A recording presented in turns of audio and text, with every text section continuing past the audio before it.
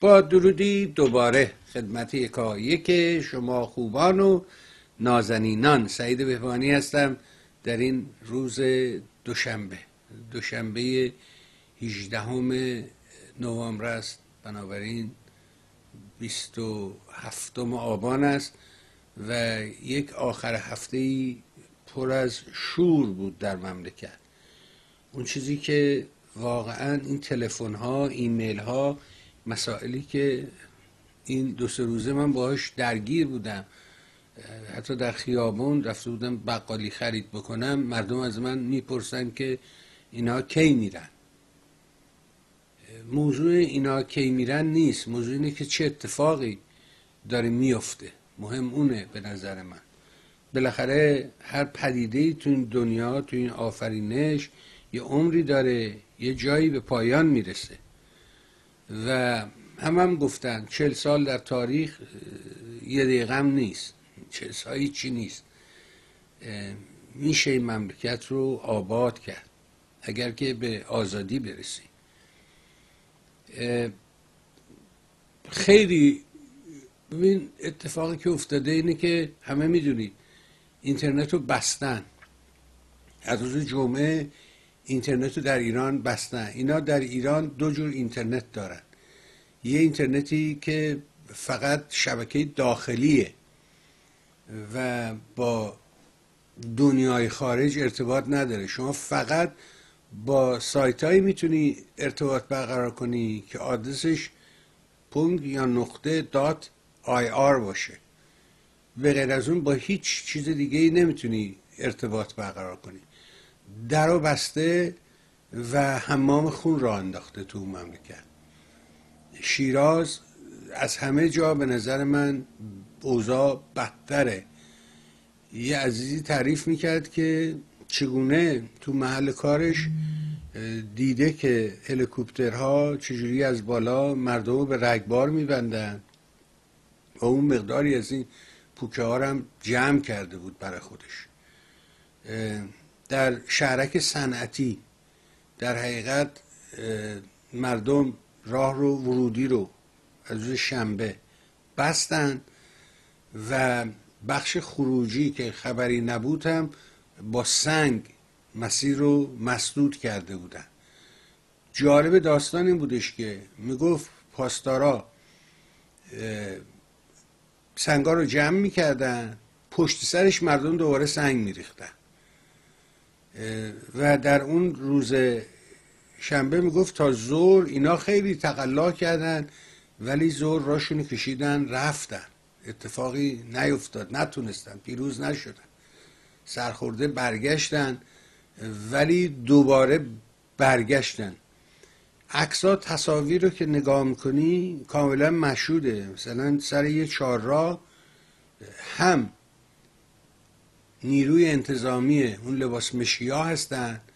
هم یه فوجی از اون لباس های خاکی رنگ که مربوط است به بسیج و پاسدار و اون گروه.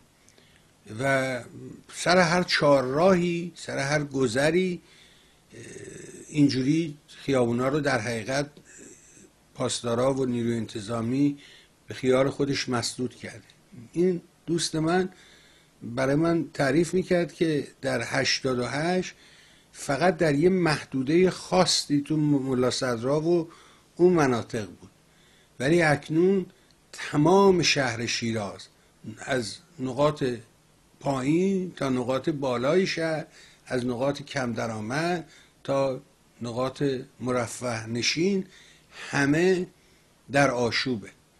می‌گفت جوونا این پیچای بستای چراغ برق خیابون رو باز می‌کنن و تمام تیرا رو تو خیابونا خوابوندن که اینا نتونن عبور کنن. من باورم بر اینه هموارم اینو گفتم که به باور من دموکراسی علا رقم اون چه که ادهی تبلیغ می‌کنن تا بوی بارود تو اونجا شنیده نشود دموکراسی از توش بیرون نخواهد آمد. مردم دست خالی هستند اونا اسلحه دارن مردم اسلحه ندارن. البته تو خبرها هست که در نقاطی از اسلحه مردم استفاده می‌کنن. داشت در خبر خوندم نمی‌دونم چقدر این خبرها چون تو این هیاهو خیلی خبر دروغ و راست همراه هم میاد. و باید حواسمون به این خبرها باشد.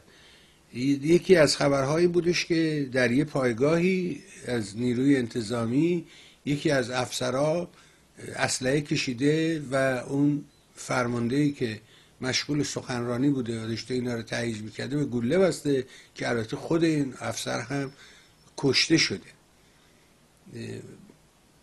مردم همه مردم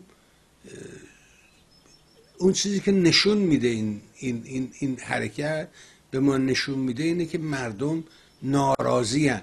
هیچ کس دیگه واقعا کلمه هیچ کس رو اینجا میشه اطلاق کرد. هیچ کس این نظام رو نمی‌خواد. اینا مدیریت نکردن ندارن. اما کنترل می‌تونن بکنن و کردن. اینا به خیال خودشون که حرف زده بود سلیمانی که ما نمی‌دونم در عراق بهشون گفته اگه ما بودیم اینجوری سرکوب می‌کردیم می‌خواد نمایش قدرت بده.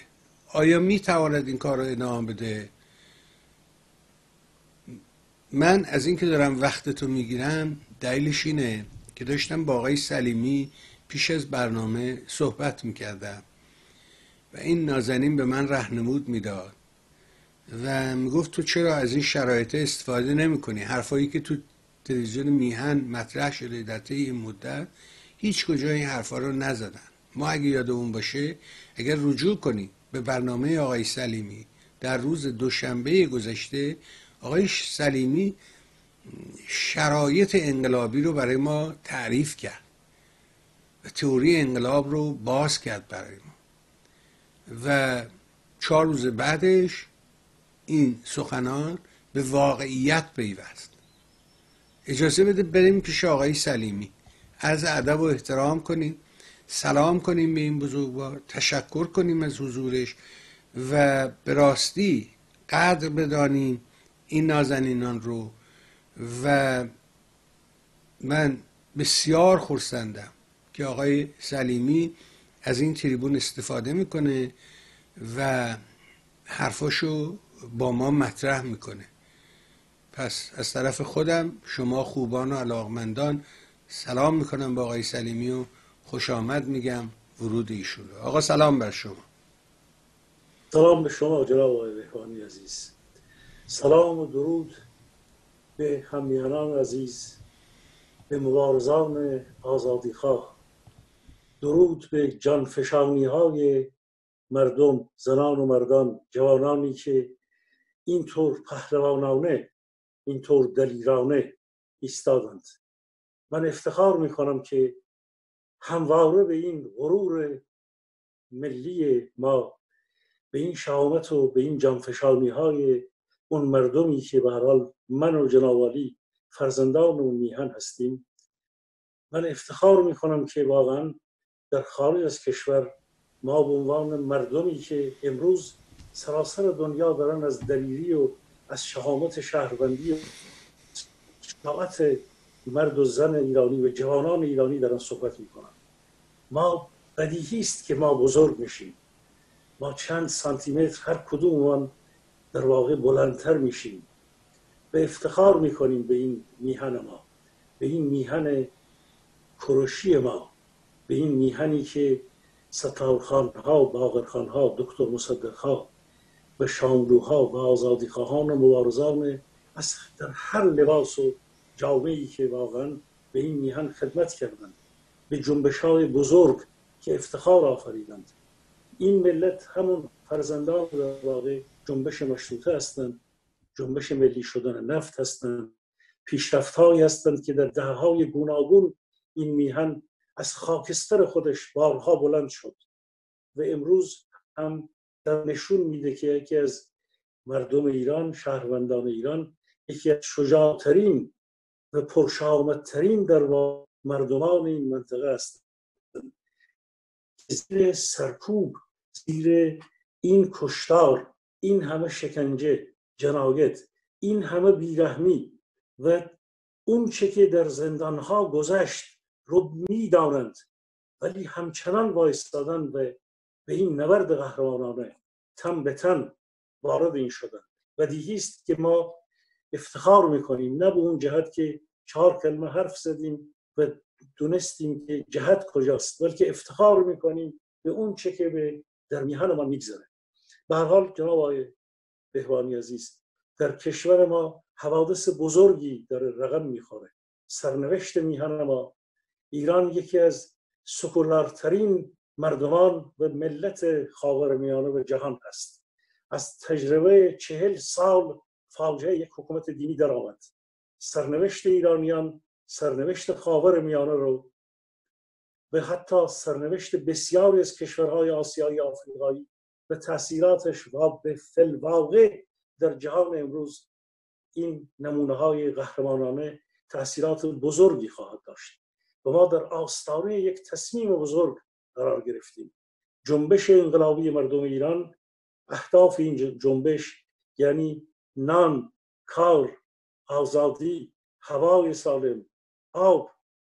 اون چه که در واقع گفته شد این سالیان طولانی حقوق بشر حقوق زیست در جامعه ما. اینکه مبارزه علیه اعدام رو سالها کردند. جوانانی که زنانی که ایستادند اونطور واقعا مبارزه کردند قهرمانانه. اینها اون دیسکورسی اون گفتمانی بود اون شعارهایی هستند که در میهن ما. این وقتی که ساده میشه بعدن میگن توپ تانک فشفشه اخوند باید گم بشه. این در واقع بیان اون چیزی است که صحبت از دولت سکولار اینکه دولت دینی باید برود. وقتی که زبان مردمی پیدا می‌کنه این طور میشه.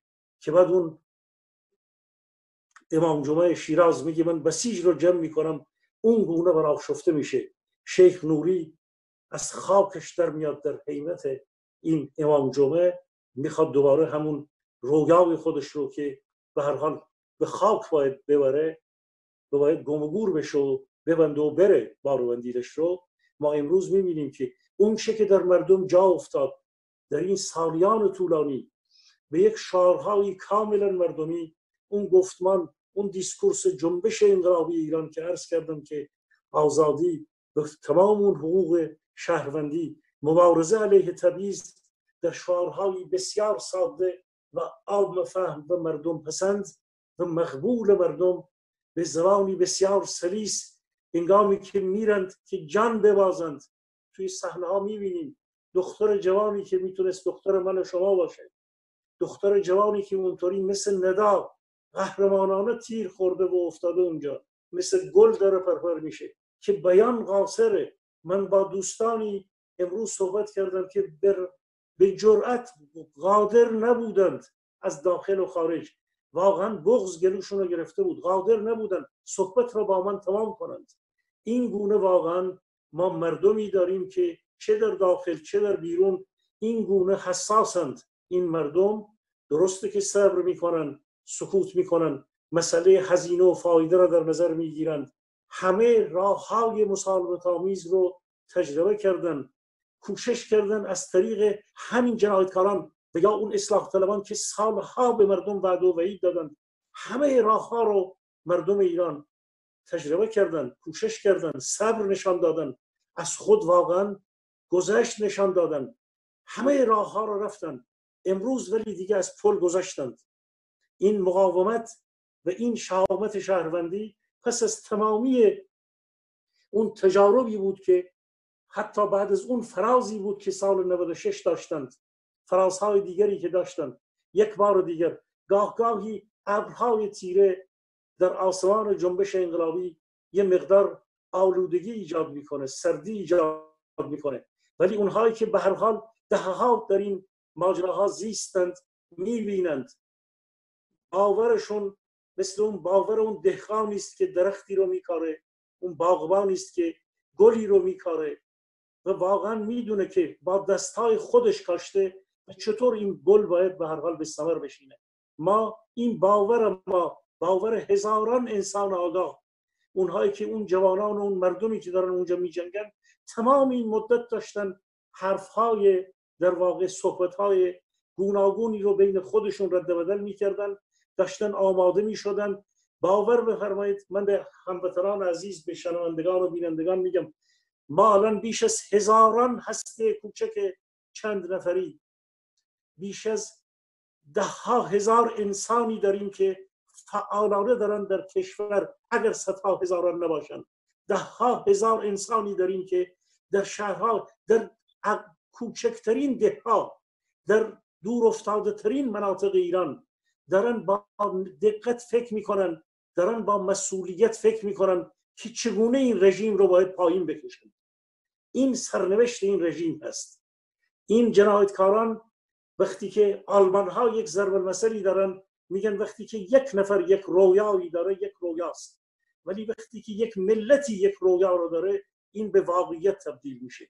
ملت ایران رویای سرنگونی این رژیم صفاق آخوندی رو سالیان طولانی است ده هاست که داره آقای بهوانی بنابراین ما در یک بار دیگر اون چه که در جامعه ما گذشت ما ایمان بیشتری باور بیشتری درسته که امشب وارد اون زمینه هایی که این رژیم صفاک داره طراحی می‌کنه پس از اینکه این صحبت ها رو انجام دادیم وارد اون خواهیم شد که چگونه باید خطرات رو آسیب شناسی این جنبش رو. به چه راهی به چگونه باید قدم به قدم حرکت بکنیم بکنیم؟ اون چه که در ایران میگذره کوشش می‌کنیم که موارد مهمی رو در این زمینه صحبت بکنیم و پرتوی انداخته بشه. اون چه که در ایران جنبندی هایی که همین امروز در بین مبارزان آزادی بخش این قهرمانان به هر حال زن و مرد و به ویژه جوان ما داره میگذره اون چه که ما در ارتباط های گوناگون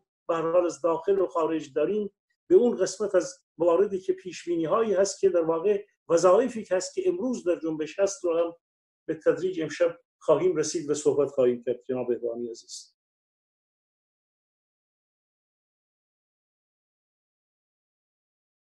بله بسیار ممنون و متشکر من باز میگم این چیزی که به من نشون میده صفحه صفحه مقابل ما خشمه خشم مردمه. و به حال این با توجه به اینکه اینترنت قطعه فقط مردم از طریق تلفن می‌تونن با هم ارتباط برقرار کنن که کار سختری شده این روزا. به خاطر اینکه اینترنت مسائل رو آسون کرده دوباره برگشتن به هندل کار سختیه. اینه که شرایط پیش رو بدون مدیریت خیلی کار رو به محله بدی میرسونه. می‌خوام نظرتون رو راجع به این مقوله بفهم خب ما می‌دونیم که در واقع بهانه جنبش کنونی بنزین بهانه بود. بنزین در واقع همون بنزینی بود که روی اون ماده ای که در حال انفجار بود ریخته شد و نقش بنزین بودن خودش رو هم بازی کرد. ولی در جامعه ما به عنوان یک امری یک پدیده ای که اون چه که گسل ها بود شکاف ها بود بیرحمی های این تبیز ها بود که سالیان طولانی انباشته شده بود این وضعیت در واقع اقتصاد فروپاشیده بود گرانی بود تورمی بود که لجام گسیخته بود فسادی در سیستم بانکی دزدیدن میلیاردهایی که از جیب مردم بود از انسانهایی که چهل پنجاه سال حاصل دارایی هایشون حاصل ارثشون از اخشار متوسط دزدیش دیده شد. از طبقه کارگر اخشار زحمتکش ایران نانشون از سفرهاشون دزدیده شد. ایدز به جانشون انداخته شد. سیل و زلزله آمد کمکی نگرفتن. همه این مسائلی که این بیماری ها این مشکلات این در واقع دردها در بین این هرمان ها در بین بویژون جوانانی که عرض کردم بارها جوانی که کودکی که نوباوهی که در سال 1990 1390 ده ساله بود با جوان دهه 80 باز هم فرق می‌کرد. امروز 18 ساله است. گزارش زیادی میاد از جوانان دانش آموزان سیکل دوم دبیرستان و دانشجویان که این جوانان یا جوانان بیکاری که واقعا اینطور از بیکاری رنج می‌برند که نتوانستند دیپلمی لیسانسی تحصیلاتی فوق لیسانسی دکترایی دارند. گزارشات زیادی میاد که از جان گذشتن چقدر خانه پدر چقدر سروار خانوار شدن اونم جوانی باهوش جوانانی آگاه که می‌بینن که روی ثروت و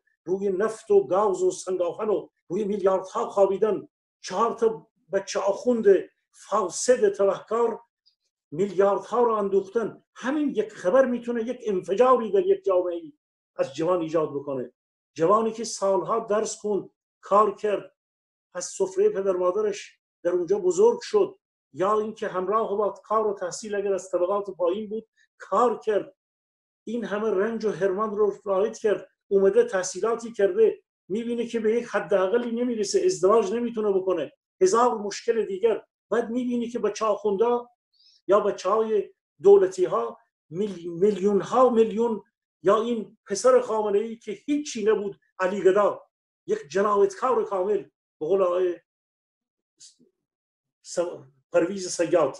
این گدایانی که در واقع هیچ چیز نبودن گدا حداقل فقط مال و مرال نداره. ولی اینها نه شرف داشتن نه حیثیت داشتن نه آبروی داشتن. برعکس فقط قدرت جنایت داشتن. این جنایتکاران در واقع فرزندان اونها بدون هیچ شدند. اونهایی که میلیاردها رو بردن خب جوان ایرانی در وضعیت کنونی می‌بینه و می‌تونه حس فقر که در جلسات پیشین عرض کرده بودم سبب شده که آگاهی انباشته همراه با خشم و این زمینه ای فراهم کرده بود که مسئله تصمیم برای بنزین و سه برابر شدن اون یا یک و نیم برابر شدن اون و یک سهمیه ای که مسخره است. 60 لیتر سهمیه نیست. سی لیتر برای اونه که گاز ماشین گازی و بنزینی داره. بعد قیمت رو سه برابر کردن. این در واقع فقط یک بنزینی بود روی تمامی این اون چه که امروز عرض کردم تبعیض ها فشارها گرامی بیکاری بیخانمانی ایدز. تمامی اون مسائلی که برای محیط زیست ایجاد شده بود این بنزین ریخته شد و این انفجار ایجاد شد. چه چیزی بلافاصله انجام شد؟ خاطر جنابالی هست و بینندگان و شنوندگان عزیز یادشون هست که اینها در اون جریانات سیزده آبان مطرح کرده بودن که فرمانده ارتش مطرح کرده بود که من اونجا هم عرض کرده بودم که اینها گفتن فتنه ای در راه هست.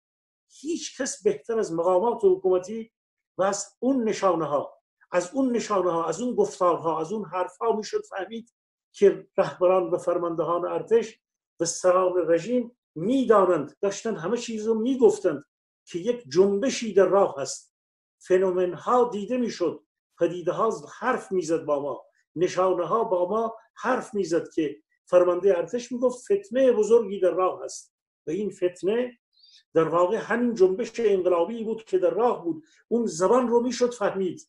که اینها دارن چی میگند و دستور وقتی که این جنبش اینها بارها هم با این جنبش اینها در عراق در لبنان در همه جا تجربه دارن. اگر یک فرد سیاسی که سالهایی با سیاست روبرو بود یا اینکه یک روزنامه‌نگاری نمی‌تونه متوجه بشه که چه چیزی در ایران میگذره ولی یک فرد یک یکی از فرماندهان ارتش یکی از سران رژیم که لبنان رو دید عراق رو دید مردم رو بارها سرکوب کرد می‌دونه که امروز باید با مشقی سرکوب بکنه یا با آب گرم و با گاز سرکوب بکنه یا باید با گلوله بکشه بزنه و بکشه. یعنی از بالا بزنه از پایین بزنه از هلیکوپتر بزنه. اینترنت رو قطع کنه. اینا همه اینها رو می‌دونستند. اینا می‌دونستند. متاسفانه برخی از نیروهای کنشگران سیاسی نمی‌تونستند ببینن ولی اونها می‌دونستند اونها داشتن به ما می‌گفتند به ما داشتیم اینو میشنیدیم که اینها واقعا می‌دونن اگه شروع بشه این بار دیگه با آب و با اینها نمیشه ساکت کرد بلوکات در راه هست مبارزه سنگینی در راه هست و گفتند و دستور آتش رو علی خامنی از اون ساعت اولیه داد گفت از دستور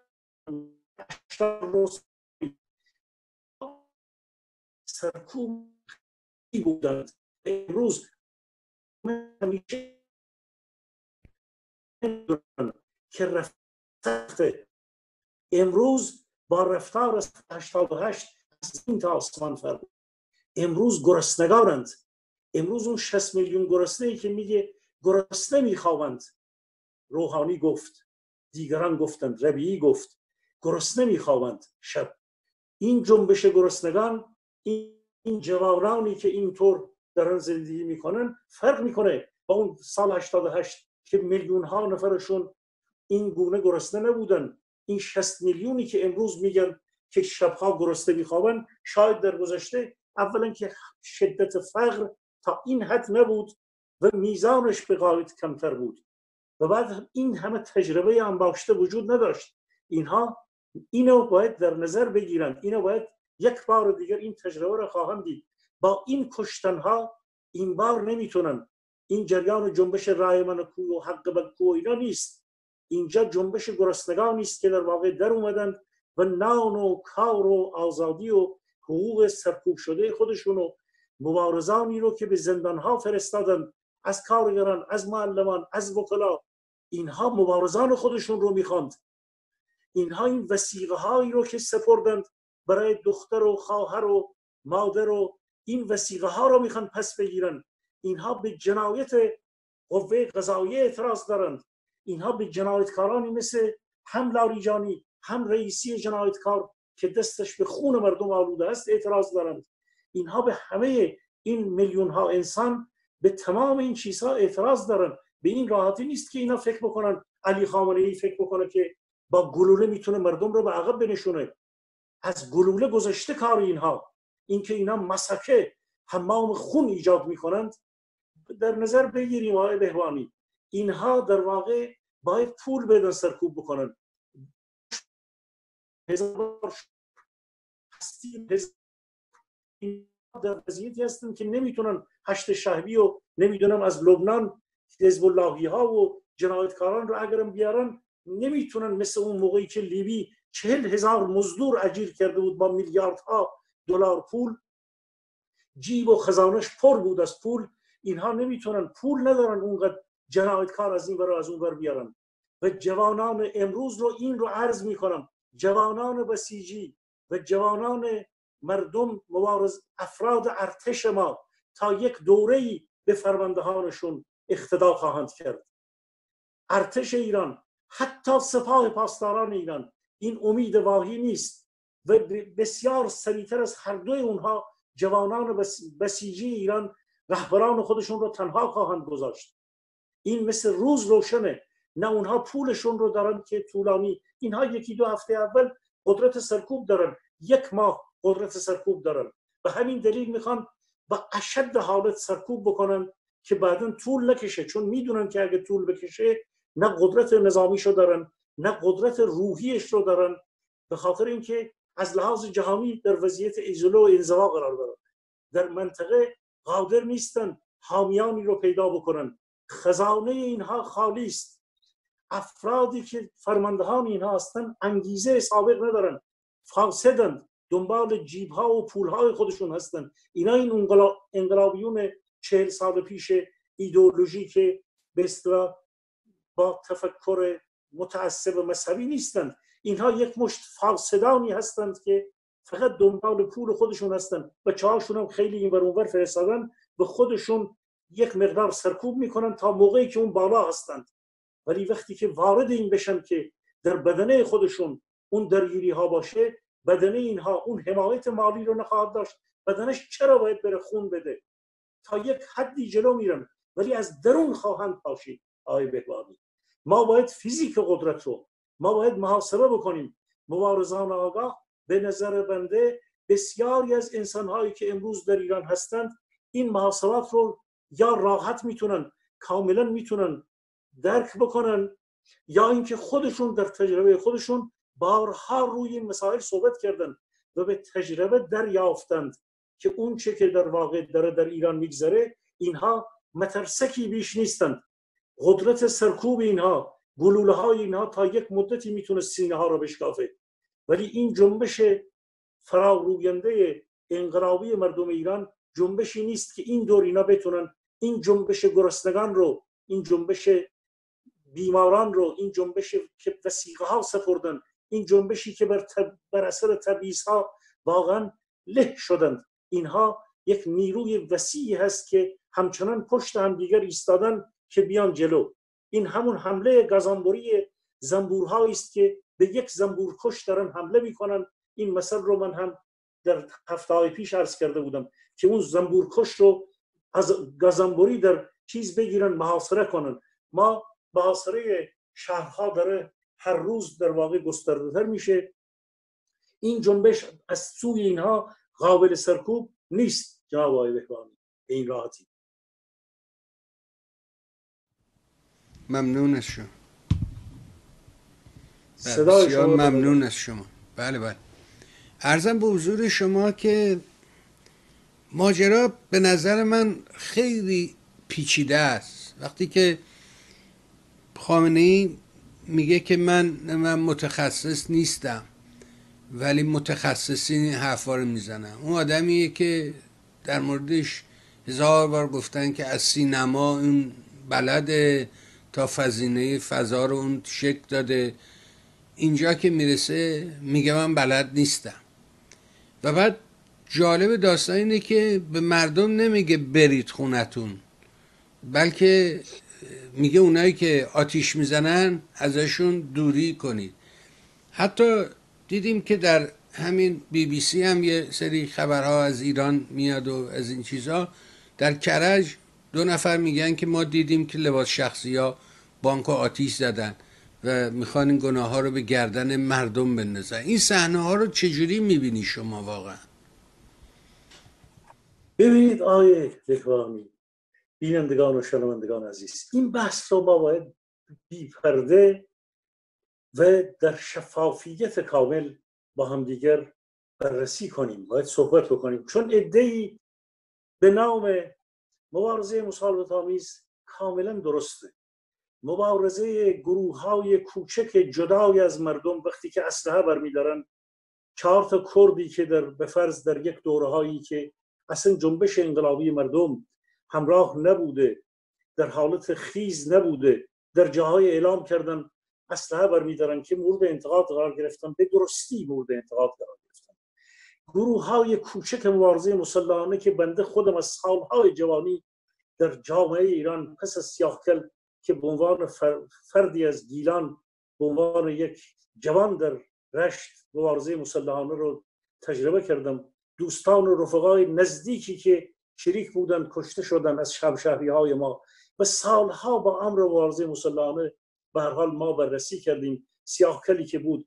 برای ما این بحثا بحثای جدیدی نیست که یک گروه گروه های کوچک مسلحانه اجازه ندارن دست به اسلحه ببرن.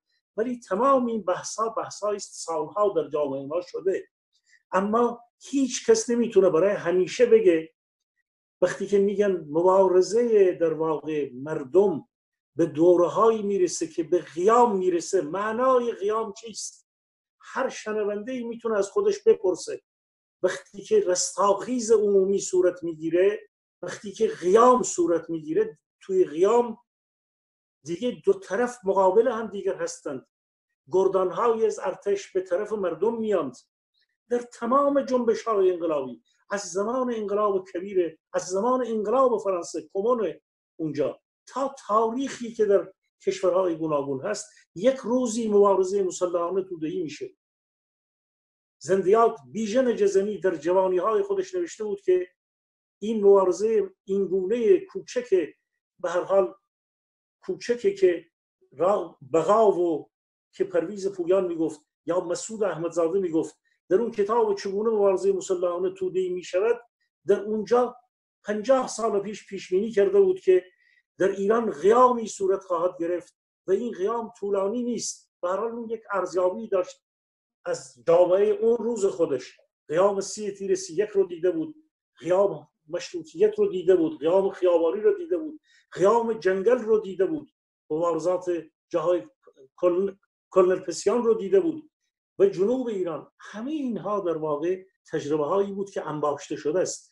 قیام امری است که یک جنبشی یک جنبش عظیمی مردمان عظیمی به میدان میان و حاکمیت صفاق که هرچی بیشتر داره پایگاه تودهی خودش رو از دست میده و هر چقدر بیشتر نیروی ابزار سرکوب خودش رو هم از دست میده و بخشی از سرکوبگران خودش به صفوف مردم میپیوندند و بعد اسلحه رو در واقع نمی‌ذارن که به روی مردم کشیده بشه.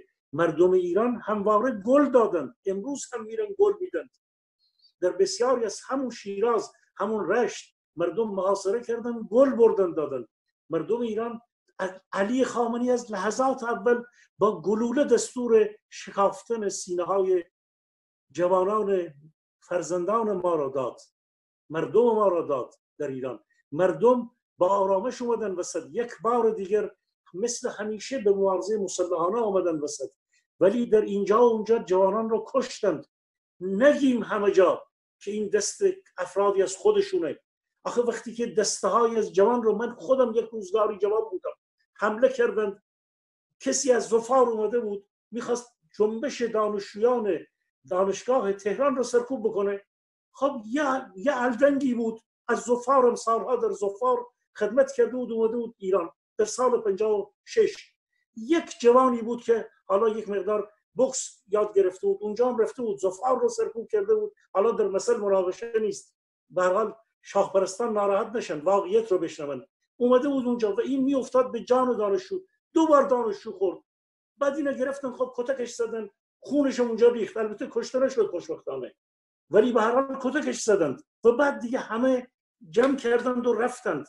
وقتی که جوانی رو در کرج در اسلام شهر جوانانی رو حمله می‌کنن یه نفر یک اسلحه داره. صدها و هزاران نفر رو میترسونه.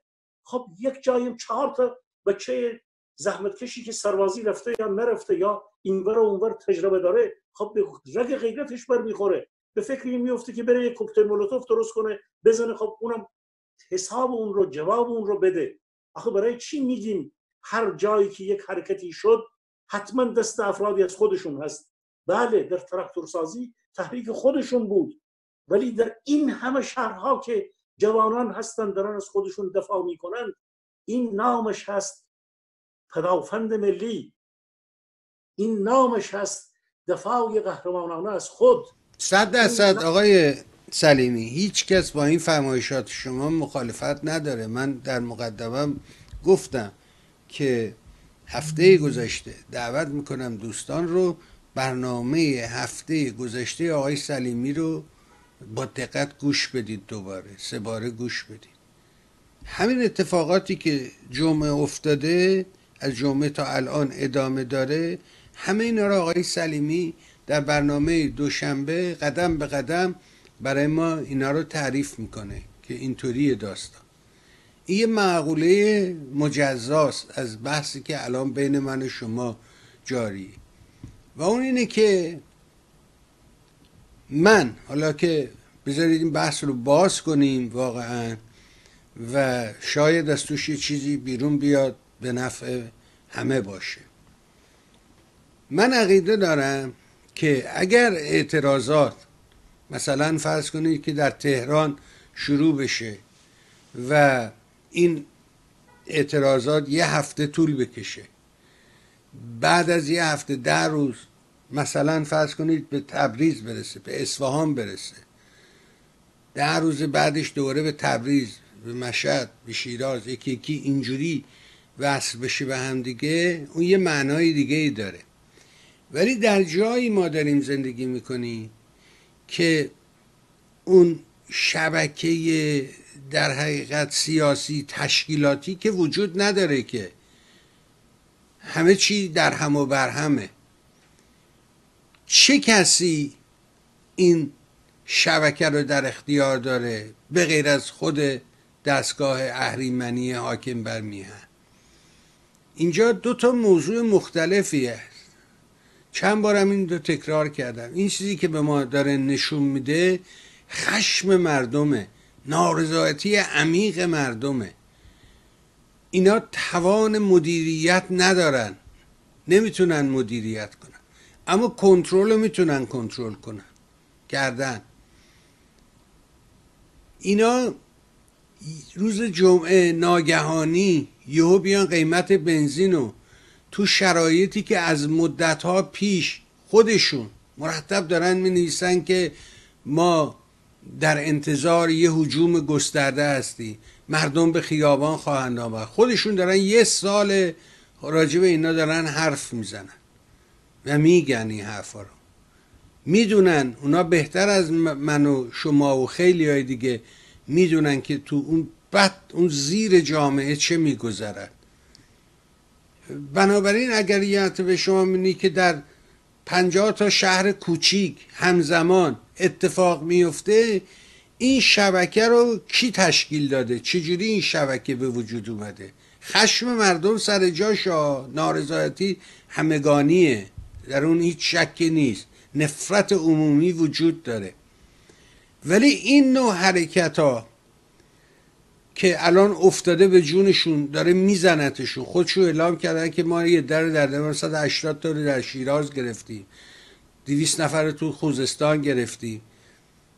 این چیه؟ اینو من نمی‌تونم برای خودم حل کنم. میشنوم نظر شما رو. بله. عرض حضور شما ببینید آقای بهرامی. لشکر این بار سپاه حرکت جنبش انقلابی مردم ایران اخشار کوچکی نیستند. یک اخشار وسیعی از مردم ایران. یعنی میلیون ها نفر از مردم ایران به خاطر همه اون که گفتیم امروز آمادند که برای گرفتن حق خودشون نه برن مثل اون استادیوم ها که موقع انتخابات بود که این 20 میلیونش رو حسن روحانی فریب داد برد بدن رای گرفت بدن انگشت زدن رای دادن بعد اونی که به خارج کشور نه. اون میلیون هایی که در همون موقع بسیاری ها می‌گفتن که خاکستری ها اونها رای نمی‌دادن یا اینکه چیز نبودن. حالا اونایی که کاملا مخالف بودن هیچ. تمام اونهایی که حتی به اینها رای دادند. اونها همهشون امروز از همه بیزار هستند و از همه ناامید شدند. امروز اینها به اضافه این گرانی ها این فقری که هنوز منتظرش نشستند گران شدن بنزین. ببینید شما بارها از من پرسیدید سلیمی قیمت دلار چرا اینطوره همواره به شما گفتم یه روزی میاد به زودی میاد. الان ببینید دلار در همین مدت اخیر هزار و خورده اول رفت بالا الان بالای دوازده هزار مدت ها سعی کردن یازده هزار و صد و پنجاه حتی رفته بود زیر یازده تا. الان اومده دوازده هزار و دویست و پنجاه تا داره نوسان می‌کنه. دوباره سکه رفت بالای چهار میلیون و خورده ای. ببینید این ماجرا این گرانی ها این فشارها و سبرابر شدن بنزین قیمت دلار رو تاثیر می‌ذاره قیمت کالاها رو تاثیر می‌ذاره. این باعث میشه که مردمی که سوخت ندارند باید برن توی جنگل ها چوب و درخت و این به بررسی کردن کارشناسان. دوباره به محیط زیست ضربه می‌زنه. مردم سوخت پول ندارن. بعد می‌خوان برن به فرض به یک خانواده یه نفره 55 هزار تومن آخه 55 هزار تومن یک سوم یک کیلو گوشته و اینها این کار رو هم تازه نمی‌کنن. این پول رو می‌خوان بزنن به درد بودجه خودشون. دروغ میگن که بخشی از این پول رو هزار شگرد و هزار پدر سوختوازی و دروغ و فساد در این پولی که دارن می‌گیرند هست. این پول نمیدن به مردم. جمعیتی که امروز ناراضی هست بسیار بسیار سپاهیان انبوه در واقع آزادی و اعتراض و مبارزان علیه تبعیضند اینها صف وایسادن و اشکال مبارزه فرعی است آقای بهوانی. هم میهنان عزیز. اشکال مبارزه برای اونهایی که آلمانا یک ضرب المثلی دارن. میگن که نیاز و ضرورت آدم رو هوشیار می‌کنه. اشکال مبارزه رو پیدا کردن در این دنیا پیچیدگی نداره که اینها خواسته هاشون رو دارند و ارادهشون رو هم دارن و می‌دونن از این رژیم چیزی در نمیاد و وسیله هم جز اعتراض برایشون نمونده. خب یه جایی رو بلوکات می‌کنن الان هم که دیگه توجیه دارن. می‌تونن راحت راهبندان درست کنن. نیروهای امنیتی نمی‌تونن از درون این راهبندان ها بیاند در جاهای متعدد شهر راهبندان می‌کنن. آخر رئیس جمهور کشور بیاد بگه که اداره استعلام هست اداره راهنمایی رانندگی هست دوربین ها هست عکس شما رو می‌گیره بعدا ما شما رو دنبال می‌کنیم. آخه چند میلیون نفر رو؟ مثل اون دور بود که ربیعی اومده بود اعلام کرده بود که کسبه ای که گران میفروشند باید هر روز بیان فلان بکنن که ما گفتیم که این در واقع امکان پذیر نیست. قیمت بین میلیون ها کسبه چطور می‌تونن قیمت رو روزانه کنترل بکنن؟ اصلا امکان پذیر نیست. امروز هم رئیس جمهور مملکت اومد اعلام کرد که ما اونهایی که راهبندان ایجاد می‌کنن فلان می‌کنن ما اینا رو می‌گیریم. هزاران مردم نه صدها هزار مردمی که ماشیناشون اینجا و اونجا باکشون خالیه خب میان راهبندان ایجاد می‌کنن. یا اینکه یک کاویون بار رو خاک رو اومدن از چیزهایی که توی عراق بود. اشکال رو الان همه دارن به هم دیگه میگن. یا اینکه عده جوان همراه میشن میرن حمله می‌کنن به یکی از این به هر حال مراکز فرمانداری و نمی‌دونم چی و چی و چی. اونها هم به هر حال از اون بر بسیج میشن. مبارزه به طور مدام این درگیری های شبانه و این زد و خوردها ادامه داره. نیروی اونها محدوده. نیروی 60 میلیون نامحدوده نسبت به اونها. اونها خسته میشند اونها باید پول بگیرن وظیفه انجام بدند و منابع اونها محدود اینها چیزی ندارن از دست بدن. این فیزیک قدرت این شطرنج واقعی امروز که این جنبش این دیگه دور جنبش سرز نیست. باید اینا رو محاسبه کرد. کسی که دنبال امر انقلاب هست یعنی جوانی که در اونجا درسشو خونده کارشو می‌خواست آماده بکنه ولی وقتی هیچی نداره کار نداره و وضعیتی داره که افتاده اگر بیفته به دور این که افتاده که انتقام بگیره از اینها این تبدیل به کارش میشه. آقای بهبانی این روحیه ها رو باید درک کرد. هزاران جوان امروز به انقلابیون حرفه‌ای تبدیل شدند. و اینجاست که این انقلابیون حرفه‌ای این جوانانی که مدرسه رو تموم کردن گرسنند. اون جوانانی که توی دانشگاه رفتن اخراج شدند. اینها رو به تل انبوه انقلابیون های انقلابیون حرفه‌ای رساندند به اون جرگه پیوستند. اون انسانی که کارش رو از دست داده کارخانه بوده دنبال اینه که هسته کارگری ایجاد بکنه. صدها هزاران هسته کارگری وجود میاد. هزاران هسته محلات وجود میاد. از دل اینها شوراهای کار و شوراهای محلی وجود میاد. من با تک تک این شوراها پیش و پس از انقلاب زندگی کردم. من می‌دونم می‌بینم که امروز هزاران هسته انقلابی از همین انقلابیون حرفه‌ای که خود رژیم اینها را ایجاد کرده. رژیم در این سالها فقط انقلابی حرفه‌ای پرورش داده. آیه و بسیاری از اینا رفتن زندان و آمدن بیرون. از اونجا هم درس ها گرفتن. این تلویزیون ها این بحث ها این جنبش منطقه‌ای لبنان و عراق اینها انقلابیون پر حرفه‌ای پرورش دادند و اینها بسیار بسیار جوانتر و باهوشتر و پرتحرکتر می‌تونن خیلی دقیقتر از اون انسانهایی که در خارج کشور نشستن. چهل سال پیش چند ماه انقلابی بودن چند سال انقلابی بودن. امروز اینجا نشستن فقط ادعا دارن ادعی از اونها البته. فقط هر کی می‌خواد می‌خواست در این سالها مقام رهبری رو بگیره. یا از اون چهار سازمانی که هنوز دنبال اصلاح طلبان هستند اتحاد جمهوری خواهان و شاخه از سازمان های جبهه ملی و نمی‌دونم یه گروه دیگر و اینا هنوز توصیه می‌کنن که نمی‌دونم اینها فلان بکنن بیسار بکنن. یک امیدهایی باز به این رژیم دارن به اون دارن نصیحت می‌کنن که تو سیاست خارجی تو درست کن. این از این آدم ها گذشت.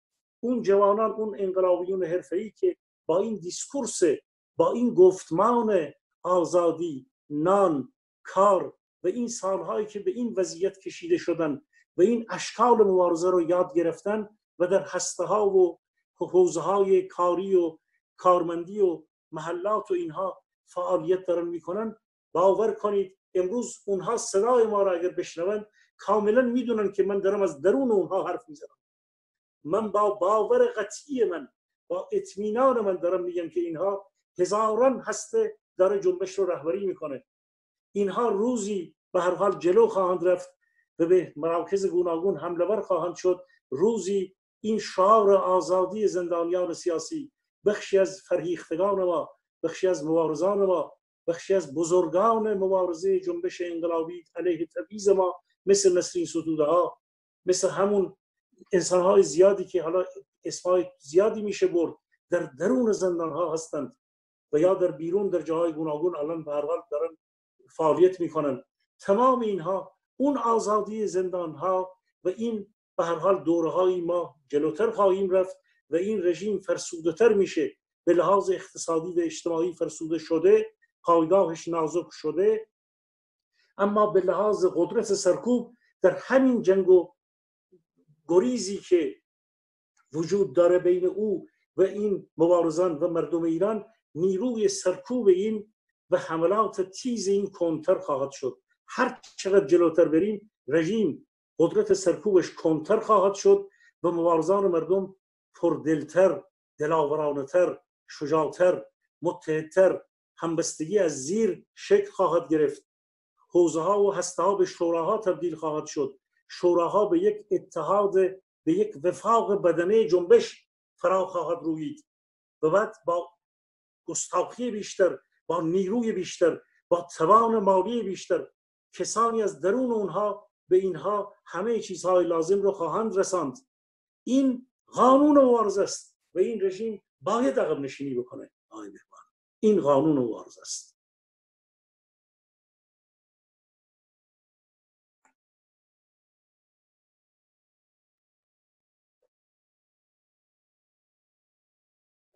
صد درصد من با شما موافقم. یعنی در این که این بازم تکرار می‌کنم. مردم چاره ای ندارن. بالاخره این الان افتاده به جون مردم. داره با تیر میزنتشون. گفتم مردمم با سنگ و چماق و اینا افتادن به جون هم دیگه. و دارن می‌زنن اینا رو. اما چون نظم و نسقی در کار نیست. سازمانی شبکه‌ای در کار نیست.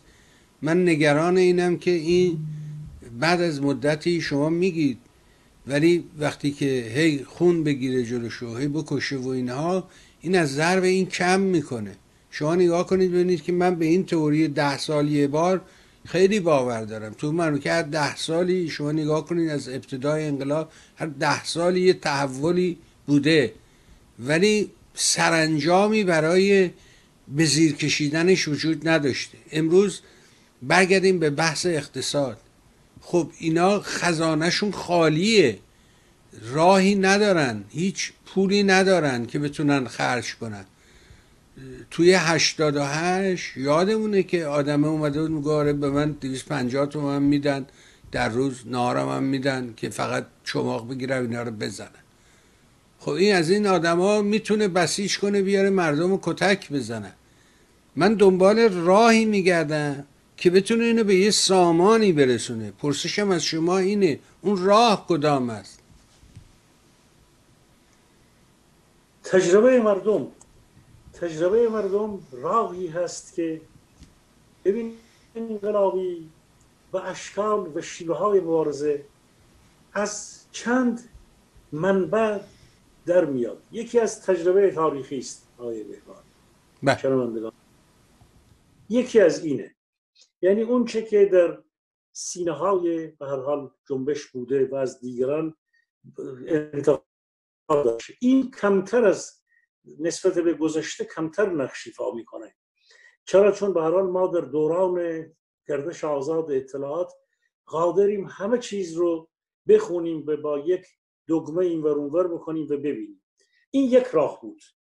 راه های دیگر که خب ما می‌دونیم که اون چه که مکتوب شده اون چه که در واقع وجود داره یعنی رجوع به اشکال و راه ها و شیوه های مبارزه اینکه چگونه در واقع در شرایط های انقلابی شما می‌خواید یک شرکتی درست کنید. برای این شرکت ها چه به لحاظ حقوقی چه به لحاظ عملیاتی چه به لحاظ فعالیت های اقتصادی که هست در جامعه امروز به مراتب راحت تر از اون چیزی که به فرض سی سال پیش 20 سال پیش بوده. در اشکال اقتصاد در اشکال آموزش هزاران نه صدها هزار واحدهای آموزشی هستند در دنیا که معلمانشون اصلا در یک جای دیگه نشستن. در امر پزشکی که اینقدر حساس هست آموزش ها از طریق جراحی از طریق دوربین های مستقیمی که روی به روی سر پزشکان حاضقی که دارن عمل می‌کنن همزمان دیگران دارن جاهای دیگر اون رو یاد می‌گیرند. هزاران معلم و به هر حال آموزگار داره آموزش میده از طریق گوناگون این انتقال پیدا می‌کنه از طریق شبکه. امر انقلاب و شاههای مبارزه هم به همین ترتیب انتقال پیدا می‌کنه. هیچ چیز پیچیده ای نیست. عزم و اراده است که کلید کار هست. عزم و ما باید رو این بحث بکنیم که آیا این جنبش همونطور که جنابالی اشاره کردید آیا پشتوانه های اقتصادی اجتماعی سیاسی مالی روانی این جنبش به نفع مردم هست یا به نفع حاکمان هست؟ ببینید یک سال و نیم پیش که ما مدام بحثای هفتگی داشتیم در اون دوران صحبت می‌کردیم که قاسم سلیمانی و دیگران می‌گفتن ما جنگ نابتقارن رو دنبال می‌کنیم. نیروهای دیگر کشورهای در واقع آمریکا و متحدانش اونها جنگ هیبریدی می‌کردن جنگ ترکیبی می‌کردن. اونها نمی‌خواستن وارد جنگ در واقع نظامی عملیات نظامی مثل عراق با اینها بشن. اینها ادعا داشتن که در جنگ نامتقارن یا همون چهار تا کشتی رو که این ور زدن نیمی چسبوندن اینا ادعا داشتن که ما تحریم رو دور می‌زنیم. ادعا می‌کردن که ما جنگ نامتقارن خواهیم کرد. خب آرامکو رو زدند چهار تا کشتی رو زدند. ولی آیا تونستن پیش ببرن؟ امروز به نقطه ای رسیدند که امکان این هست که تحریم های سراسری بین المللی همین امروز آلمان فرانسه کشورهای اروپایی همه رژیم ایران رو محکوم کردند. اینها در آستانه یک تحریم سراسری هستند. اگر شورای امنیت به تحریم های سازمان ملل به وجود بیاد که ما در آستانه اون هستیم دیگه هیچ راهی برای این رژیم نمونده. بنابراین در جنگ اقتصادی و تبع اون در جنگی که اینها فکر می‌کردن جنگ علیه تحریم ها اینها شکست کامل خوردند. هیچ مفری برای اینها باز نیست. نشان میده که چقدر نابخردانه چقدر در رویاها چقدر در هوا بودند اینها. اینها میلیاردها نه ده ها میلیارد رو خرج کردن آیه بهبانی اینها در اوج وضعیت سخت تحریم باز هم پول دادن به حزب الله باز هم به توی عراق رفتن دخالت کردن.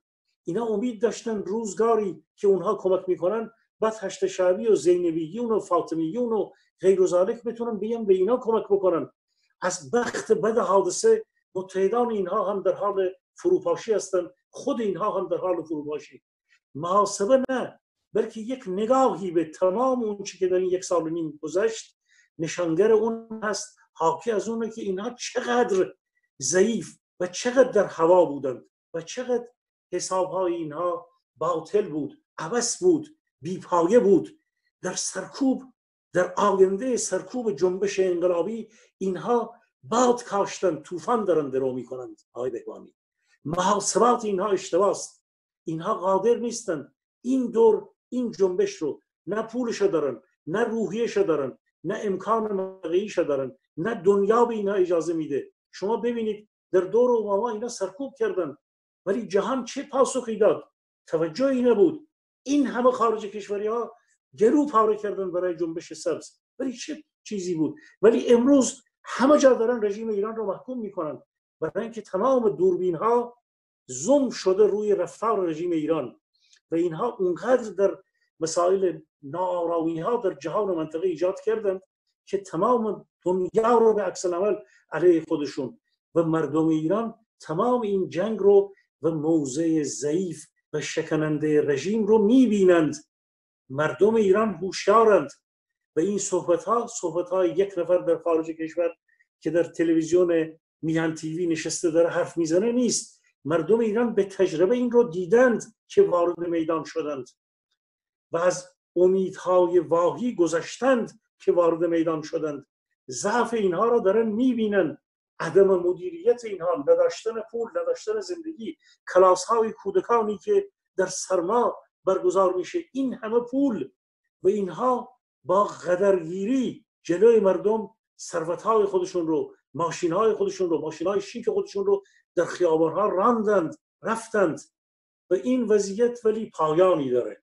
اینها قدرت سرکوبشون رو در وضعیت کنونی با توجه به این مسائل شما سوال دقیق و ظریف جنابالی این هست که اشکال و راههایی که بتونه از اینها سلب قدرت بکنه. سلب مشروعیت شده از اینها. سلب پایگاه شده از اینها. ولی اینکه قدرت نظامی اینها رو کاهش بده و به ازمهلال ببره چه اشکالی هست؟ اشکال فرعی است. اساس اینه که سپاه آزادی سپاه مبارزه تبعیض زیاد شده و این سپاه اشکال رو داره یاد می‌گیره باز هم فرا خواهد گرفت. ممنون از شما. ارزم به حضورت که موضوع مهمی که الان هست من همین که ارتباطات رو قطع کرده اینترنت رو بسته. ما در اون 88 و 96 و غیره ارتباط داشتیم. الان هیچ ارتباطی به غیر از راه تلفن ارتباط دیگری نیست. گفتم چون مردمم عادت کردن که از اینترنت استفاده کنن سخته براشون دوره برگردن از تلفن استفاده کنن اینه که یه قدری دست و پاها رو بسته. این وسط هم یه مش هوچیگر افتادن وسط و با هوچیگری می‌خوان این داستان رو برای خودشون بکنن. همین آقای دوشوکی دو هفته پیش نامه نوشت آقا من رفتم و دیگه نمیام و بر نمیگردم و و شما هیچ کاری نکردید و اینا. ولی تا دوباره شلوغ شد دوباره نامه نوشته منم مطلبشو گذاشتم روی سایت برید بخونید. خب اینا غلطه اینا گمراهیه اینا کمک به ما نمی‌کنه. من دنبال کمک میگردم. چطوری کمک کنیم به این مردم؟ طبیعیه. مردم گیر افتادن. و اون اگه می‌زنه مردم هم می‌زنن. گفتم جاده رو بستن. ببین الان این تمام هدفش اینه که پمپ بنزینا رو حفظ کنه. مردم دارن پمپ بنزینا رو آتیش می‌زنن که دسترسی به سوخت کم بشه نتونن پیشنهاد شما پیشنهاد معقولی بود همون روز جمعه که به جای آتش زدن پمپ بنزین ها راهبندان ایجاد کن. اون دقیق تر از اینه که پمپ بنزین آتیش بزنی. این آتش زدن ها این بانک آتیش زدن ها من باور دارم که این کار مردم نیست. مردم این کار نمی‌کنن. اوباش خودش این کارو می‌کنه که بهانه درست کنه برای سرکوب. اینو تو 78 هم دیدیم تو 88 هم دیدیم الان هم داریم می‌بینیم. یه کسی باید اینو فریاد بزنه. به مردم بگه آقا این غلطه. شما جمعه قدری راجبش صحبت کردی. پرسشم از شما اینه چرا اساسا اینا تصمیم گرفتن که این کار رو بکنن؟ به نظرت دلیلش چیه؟ پول عجیب مردم بگیریم بعد حالا اگه ادعاش راست باشه که من می‌خوام برگردونم به مردم خب چرا مردم بگیریم دوباره به خودشون بدیم؟ چه پوانی داره این برای ما؟ چه چیزی ایجاد می‌کنه؟ اساسا چرا اینا یه همچی کاری را انجام دادن؟ چی دنبال چی میگردن من امیدوارم همطور که شما گفتی اینا اشتباه محاسبه کرده باشن و این اشتباهشون باعث فروریزیشون بشه. من همه آرزوم اینه که اینا اشتباهی محاسبه کرده باشن. چون اینا همیشه گفتن که ما می‌تونیم ماجرا رو جمع کنیم. سلیمانی در مورد عراق هم اینا رو می‌گفت. توضیح می‌داد که آقا شما اینا اینترنت رو قطع کن اینا رو بزن. همین کار داره تو ایران انجام میده. چجوری می‌تونیم این مردم رو از این مخمسه به سمت شرایط بهتر حل بدیم؟ میشنوم. چرا اینا این کار کردن؟ چرا این ناگهان تصمیم گرفتن که تو این شرایط که خودش یک ساله بیش از یک ساله از ربیعی و اون دیگری و دیگری و دیگری همشون نوشتن گفتن که ما منتظر یه خیزش عمومی هستیم. چرا این کار کرد؟ بفرمایید تا بشنوم. خب شما چندین پرسش بسیار مهم رو انجام دادید. من به چند موردش به حال سعی می‌کنم به پرسش های جنابالی برسم به فکر می‌کنم که بیشترین مسئله شما به درستی که فرمودید آقای بهبانی عزیز همون نکته بسیار بسیار مهم است که آتش زدن ها پمپ ها رو آتش زدن بانک ها رو خورد کردن. اینها ثروت عمومی ماست. هر پمپ بنزینی حداقل در خود همین کشور آلمان به قیمت یورو چون من با کار ترانسپورت حداقل بین کوچکترین پمپ بنزین بین 500 هزار تا یک میلیون این می‌تونه بسته به گسترش تعداد پمپ هایی که اونجا هست یک پمپ بنزین هزینه داره و باید این رو وسایلش رو دستگاهایش رو چاهش رو لوله هایش رو به میزان بنزینی که به هر حال هزار جور اون به اصطلاح پوشش ایزولاسیون ها و وسایل دیگر رو این خرج بزرگی است. شما در نظر بگیرید من به جوانان ایران عرض می کنم که اگر شما 100 تا پمپ بنزین رو حتی به قیمت 500 هزار دلار رو اگر بخوایم منفجر بکنیم ببینید چه سرمایه‌ای از آینده اینها میرند. اینها رفتنی هستند. این ایران عزیز ما این پمپ بنزین های ما خواهد ماند. بعد به اضافه وقتی که این جریانات یک کمی جلوتر رفتیم حتی در اسنای این جریانات این مبارزات مردمی که صبحها در میان این ور ور برند پمپ بنزین نداشته باشند از همین حرکت متنفر میشند از همین حرکت فاصله می‌گیرند بنابراین اکیدن از سوزاندن پمپ بنزین ها پرهیز کنید. اکیدن حالا چهار تا شیشه ای رو این ور به حال ولی اینکه به بانک ها حمله بر بشیم اسناد بانک ها رو بسوزونیم و حتی باعث میشه که پولشویی های اینها هم بیشتر بشه. اینها خودشون ممکنه بعضی از بانک ها رو آتش بزنن که اسناد پولشویی خودشون رو پنهان بکنن. از این رژیم تبهکار همه چیز در میاد.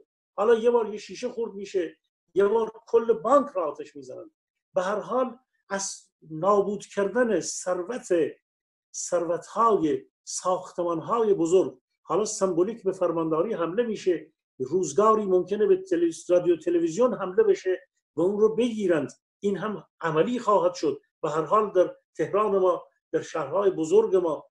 ولی اونی که میره منبع آب رو منفجر می‌کنه این صد درصد رژیم تبهکار هست. تبهکاران وابسته به خودشون هست. باید دید که کجا رو اینا به چه ترتیبی.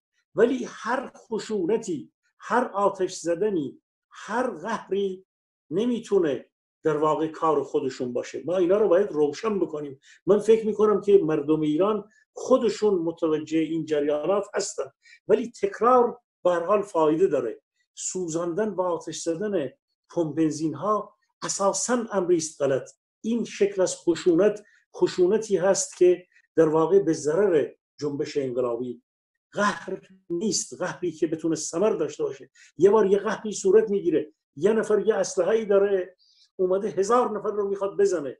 یه نفر دیگر با یه اسلحه دیگه جلوشو می‌گیره. این برای جلوی این یک عمل پدافندی است.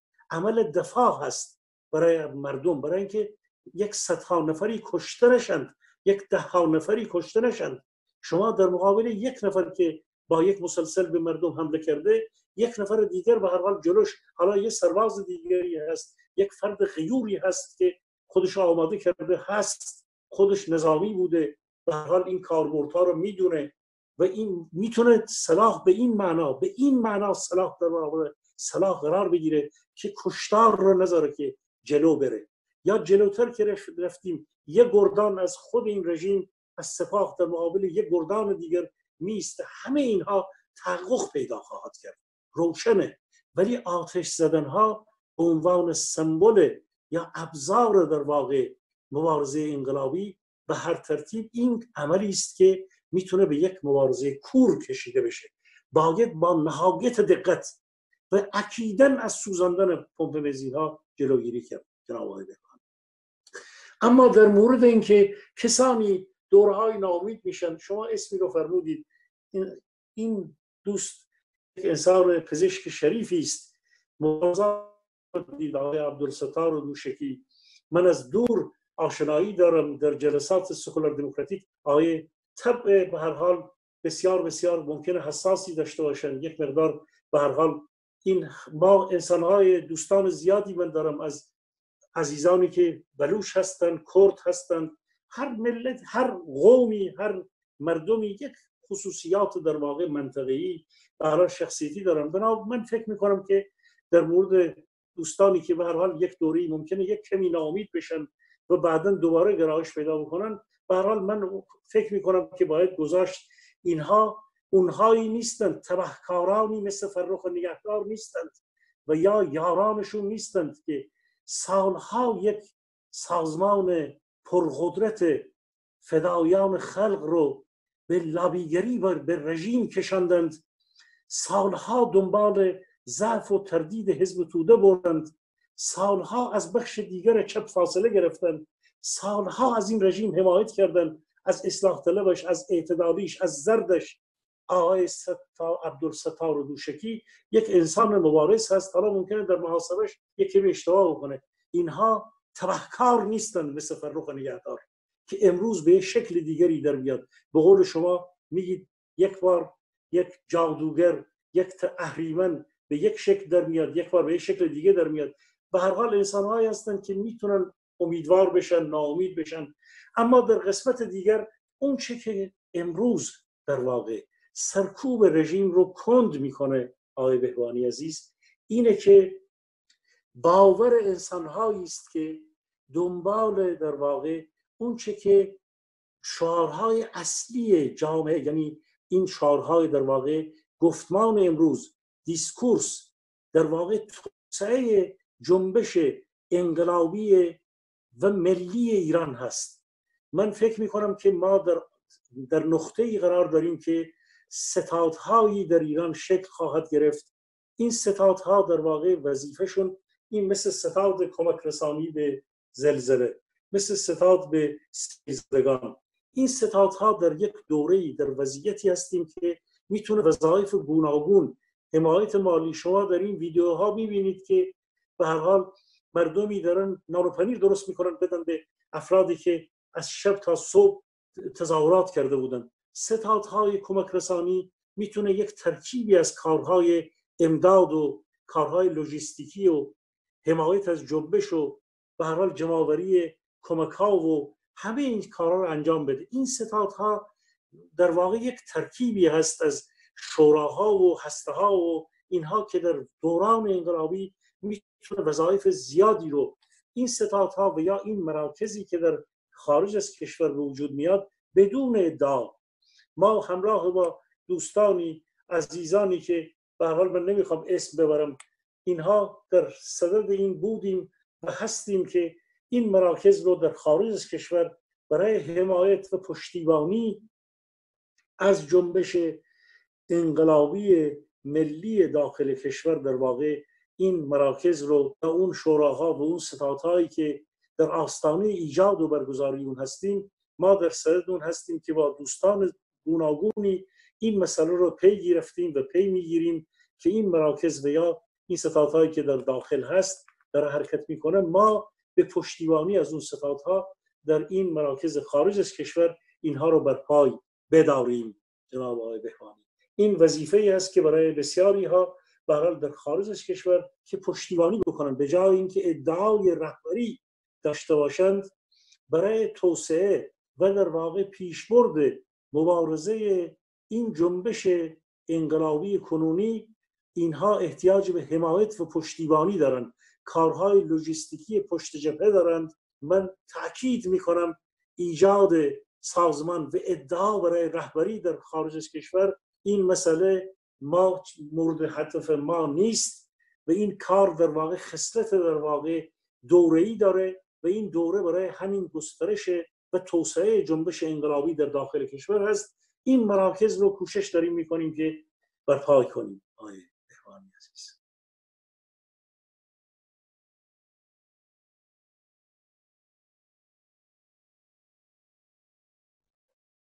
بله بسیار از کوشش های شما سپاسگزارم. اینا یه بحثایی هم کردن که برمیگردیم قیمت رو. فکر می‌کنه اینا عقب نشینی می‌کنن قیمت رو برمیگردونن به جای ثابت؟ چی می‌بینی صحنه این رو؟ تصور من اینه که اینها الان اگر حتی بخوان این قیمت رو برگردونند خب الان دیگه دیر شده. یعنی به نظر میاد که اگر اون فرمان تاییدشون از سوی خامنه ای نمی اومد می‌شد یه کاری ولی حتی اگر برگردونند هم جنبش مردم الان دیگه جنبش قطع شدن اینترنت تبدیل به جنبش بعدی شده آیه بهبانی الان داره صحبت میاد ببینید من گزارشاتی در این روزها خوندم که اینترنت در ایران فقط امر جنبش انقلابی اطلاع رسانی نیست. این اینترنت در واقع تاکسی رو با این صدا می‌کردن مراودات بانکی با اینترنت صورت می‌گیره. بسیاری از امور و بازار مسائل مربوط به سرمایه به اینترنت مربوط شده. ایران از لحاظ اینترنت و فعالیت های اینترنتی در بعضی از عرصه توزیع و خدمات از آلمان هم پیشرفته تر هست. بسیاری از کارها که در آلمان هم از طریق نامه و یا رجوع انجام میشه در اونجا از طریق ایمیل انجام می‌شد.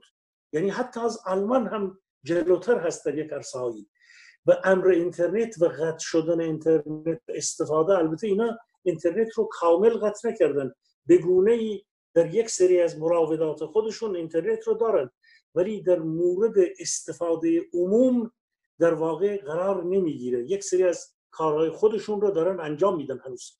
ولی امر اینترنت باعث میشه به کاهش فعالیت های سرمایه‌ای مالی بانکی و خدمات و امور مربوط به حتی اونچه که در واقع به مبادلات تجاری و وضعیت اقتصادی امروز ایران به یه سطحی رسیده که اینجا مسئله این نیست که در واقع اینترنت به لحاظ اینکه جنبش مسائل سیاسی و یا مسائل عواطف خانوادگی رو که دوست با دوست یا خانواده پسر نمی‌دونم با پدر با مادر اینا صحبت بکنه. اینترنت کاملا استفاده اقتصادی داره در زندگی مردم روزمره مردم بازارهای ایران کاملا مورد استفاده است. اینا اینترنت رو الان با این واسه ایجاد کردند مسئله دیگه بنزین نیست.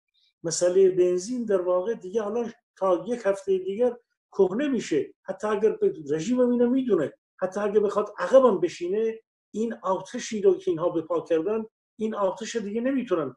ضمن اینکه اینها دیگه برای اون رو پس هم نخواهند گرفت.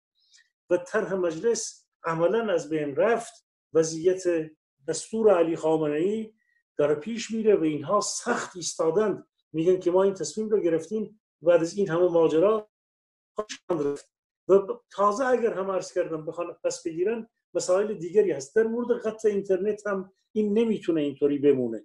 این قطع اینترنت باید یک وضعیت دیگری پیدا بکنه. شرایطش سهلتر خواهد شد و بعد به هر حال این جنبش کنونی عجین خواهد شد با پیوند خواهد خورد. ممکنه که این روزها یک کمی فرازش بیشتر بود یک کمی فرازش کمتر بشه سه چهار روز خاموش بشه در یه شهر. در هفته بعد در ده تا شهر دیگر پنج تا شهر دیگر جور دیگر گور بگیره. این به هر حال شروع بزرگی بود که ما همراه آره به نکته جالبی رو اشاره کردی آقای سلیمی. این میگه که در روز بذار من ببینم که این رو دقیق بگم به شما. سه مل...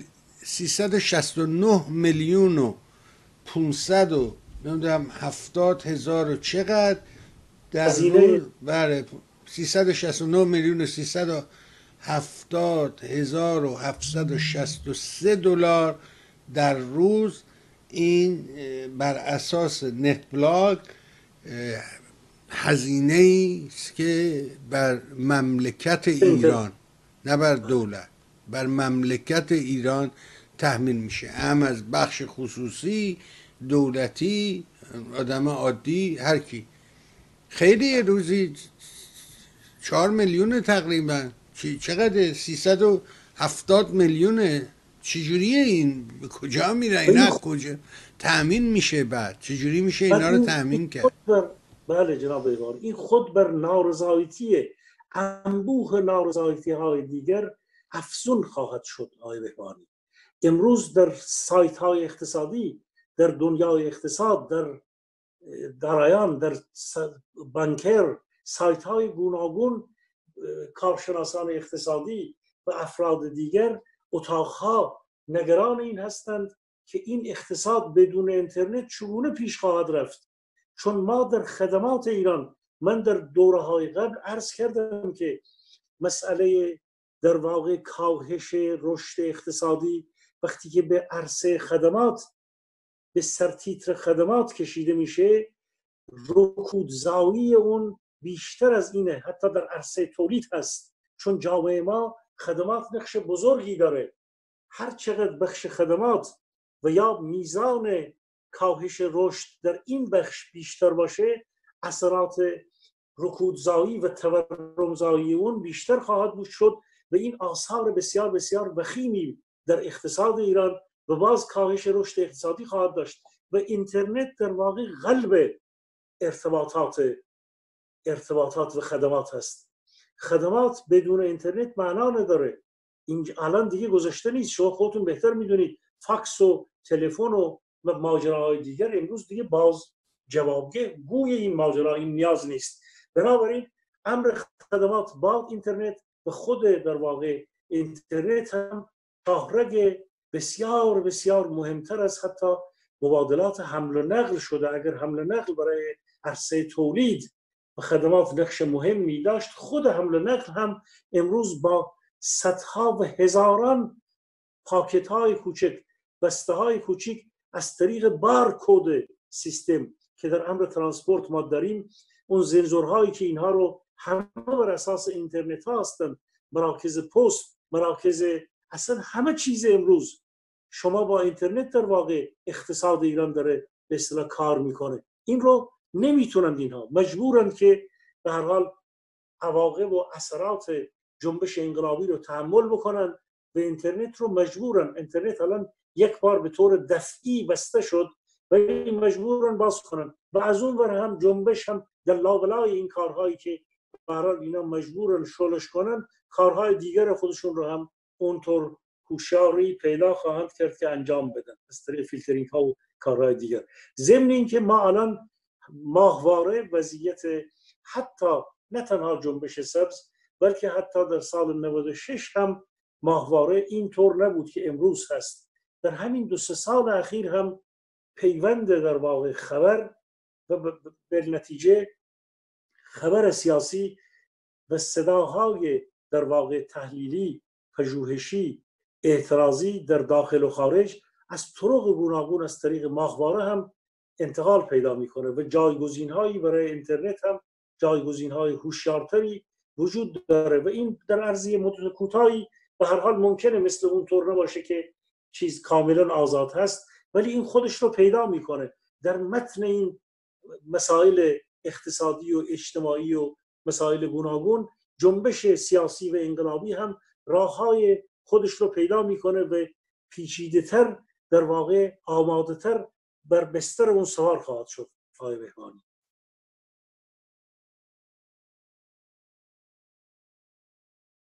خب البته می‌دونی که ماهوارم یه جوری تو محاق توقیفه. یعنی ایران اینترنشنال میگفتش که ده ثانیه هست چل ثانیه پارازیته. صفحه سفید میشه.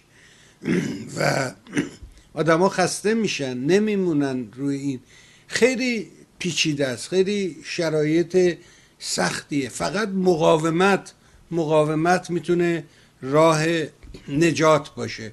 و جوونام الحق خوب دارن کار می‌کنن. گفتم این داستان باز کردن این پیچای تیرای برق که این چراغای خیابون رو بریزن و راه رو بند بیارن کار بسیار بسیار خوبی بود که این جوونا انجام دادن.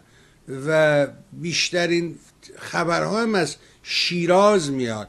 به نظر چرا شیراز مرکز این خبره؟ خب ماجرا در واقع از احواز از خوزستان شروع شد. به خاطر حسن حیدری که چند روز بود خوزستان و احواز ناآرام بود. و در هفته پیش هم صحبت کرده بودیم. آثار اون جریان در از طریق خوزستان به هر حال جنبش انتقال پیدا کرد. ولی بسیار جالب واقعا شهر فرهنگ دوست شهر در واقع زیبایی شناسان زیبایی شناسی شهر فرهنگ شهر عشق و شهر حافظ. این گونه واقعا اومده به هر حال به میدان و این گونه شیرازی های به هر حال مبارز ما همیهنان ما در اون قسمت این گونه ایستادن باعث مباهات و افتخار به حال این شهر فرهنگ دوست. امروز هر شهری در یک دوره وضعیت خودش رو نشون میده جلو افتاده و البته شهرهای دیگری هم بودند این روزها. واقعا بسیار ولی این مقاومتی که در شیراز بود واقعا آموزنده است برای جاهای دیگر کشور جوانان گوناگون در, در ارتباط هستند. و هر حال ما می‌دونیم که چند سال هم بود که مردم به منطقه به تخت جمشید سفر می‌کردند. از اونجا هر شهری هر استانی یک دوره حرف خودش رو می‌زنه دیگه جناب آقای حادثه و سرنوشت. ما دو هفته پیش در چهار نوامبر یه صحبتی داشتیم. دو هفته پیش بود. در اونجا من جناب صحبت کردیم. من گفتم هیچ کس نمی‌تونه بگه که دو ماه دیگر وضعیت ایران چه خواهد شد. شاید تا دو ماه دیگر حوادثی در ایران اتفاق بیفته. هم عزیزان شنوندگانی که شنیدند و یا اونهایی که علاقمند هستند می‌تونن به صحبت های چهار نوامبر ما رجوع بکنند. واقعیت اینه که دو ماه طول نکشید. در عرض دو هفته شهرهایی مثل اهواز و شیراز و خود کرج و خود کرج چقدر مقاومت کرد؟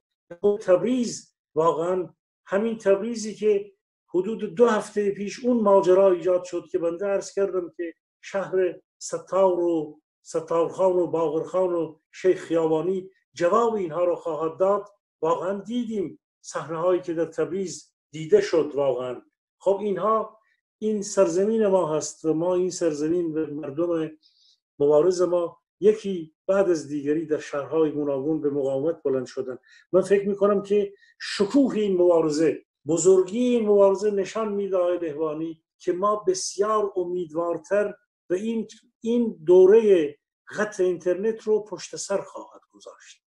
قدرت این رو داره.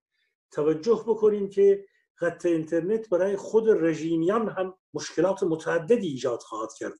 فقط اینطور نیست که برای انقلابیون مشکل ایجاد خواهد کرد. برای اونها هم مشکلات ایجاد خواهد کرد. این مسئله رو باید حل بکنن. ضمن که حراس در دل اونها بیشتر هست. چون عرض کردم مردم ایران بسیاری از چیزهای خودشون از دست دادند. امروز بسیاری ها هستند که دنبال حق خود خودشون هستند. و این به هر حال مبارزه برای داد مبارزه برای حق امری است شیرین. وقتی که قدم به قدم متحدتر میشن درست هزینه های سنگینی به جان و به هر حال آزادی و سلب آزادی منجر میشه. ولی به قول شاعر بزرگ شفیعی کتکنی میگه تو نغمه را در بیابان رها کن با باغ از کرنها میرو اون را باران که بارید هر جوی باری چندان که گنجای دارد پر می‌کند ذوق پیمانش را. این اون بارانی هست که به حال داره میباره. جناب بهبانی و این جنبش به حال این سیلاب ها داره به طرف یک رودخانه حرکت می‌کنه.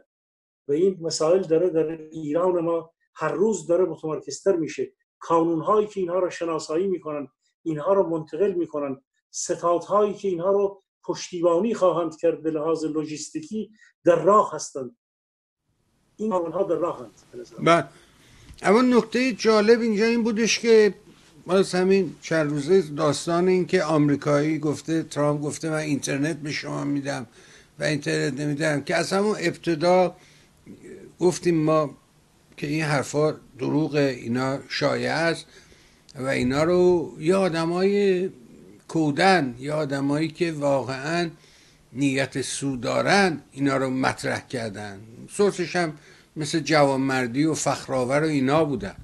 برای این که شما بتونید یه اینترنت اونجوری داشته باشی شما بایستی که یک رسیور داشته باشی. نمی‌تونی همینجوری یا دیش باید داشته باشی. یه چیزی باید داشته باشی که اون اینترنتی رو که از رو ستلایت تو میفرسته تو بتونی دریافت کنی. بعد اینا رو دکود کنی بعد دوباره کد کنی. یعنی یه دکودر لازم داره یه چیزی اون وسط لازم داره. این حتی مثل تلفن سریا هم نیست. این یه چیز دیگه است. بنابراین این شایعات رو پخش کردن تو این شرایط کار نابجاییه کار غلطیه. مردم باید خودشون تکلیف خودشون رو همطور که داریم می‌بینی دارن روشن می‌کنن. مردم از همه طبقات از حتی در میان آخوندها از این شرایط ناراضی هن. یکی از این اوباشا فکر می‌کنم در شیراز بوده ظاهرا که گفته که چون رضاشاه هم نتونست ما رو از بین ببره. شما آره این آدم است. میگه که امام شیراز بوده. بله رضاشاه با تمام قلدریش نتونست اما مرا از سر آخون بعد داره شما چه جایگاهی دارید که میگید آخون باید بره؟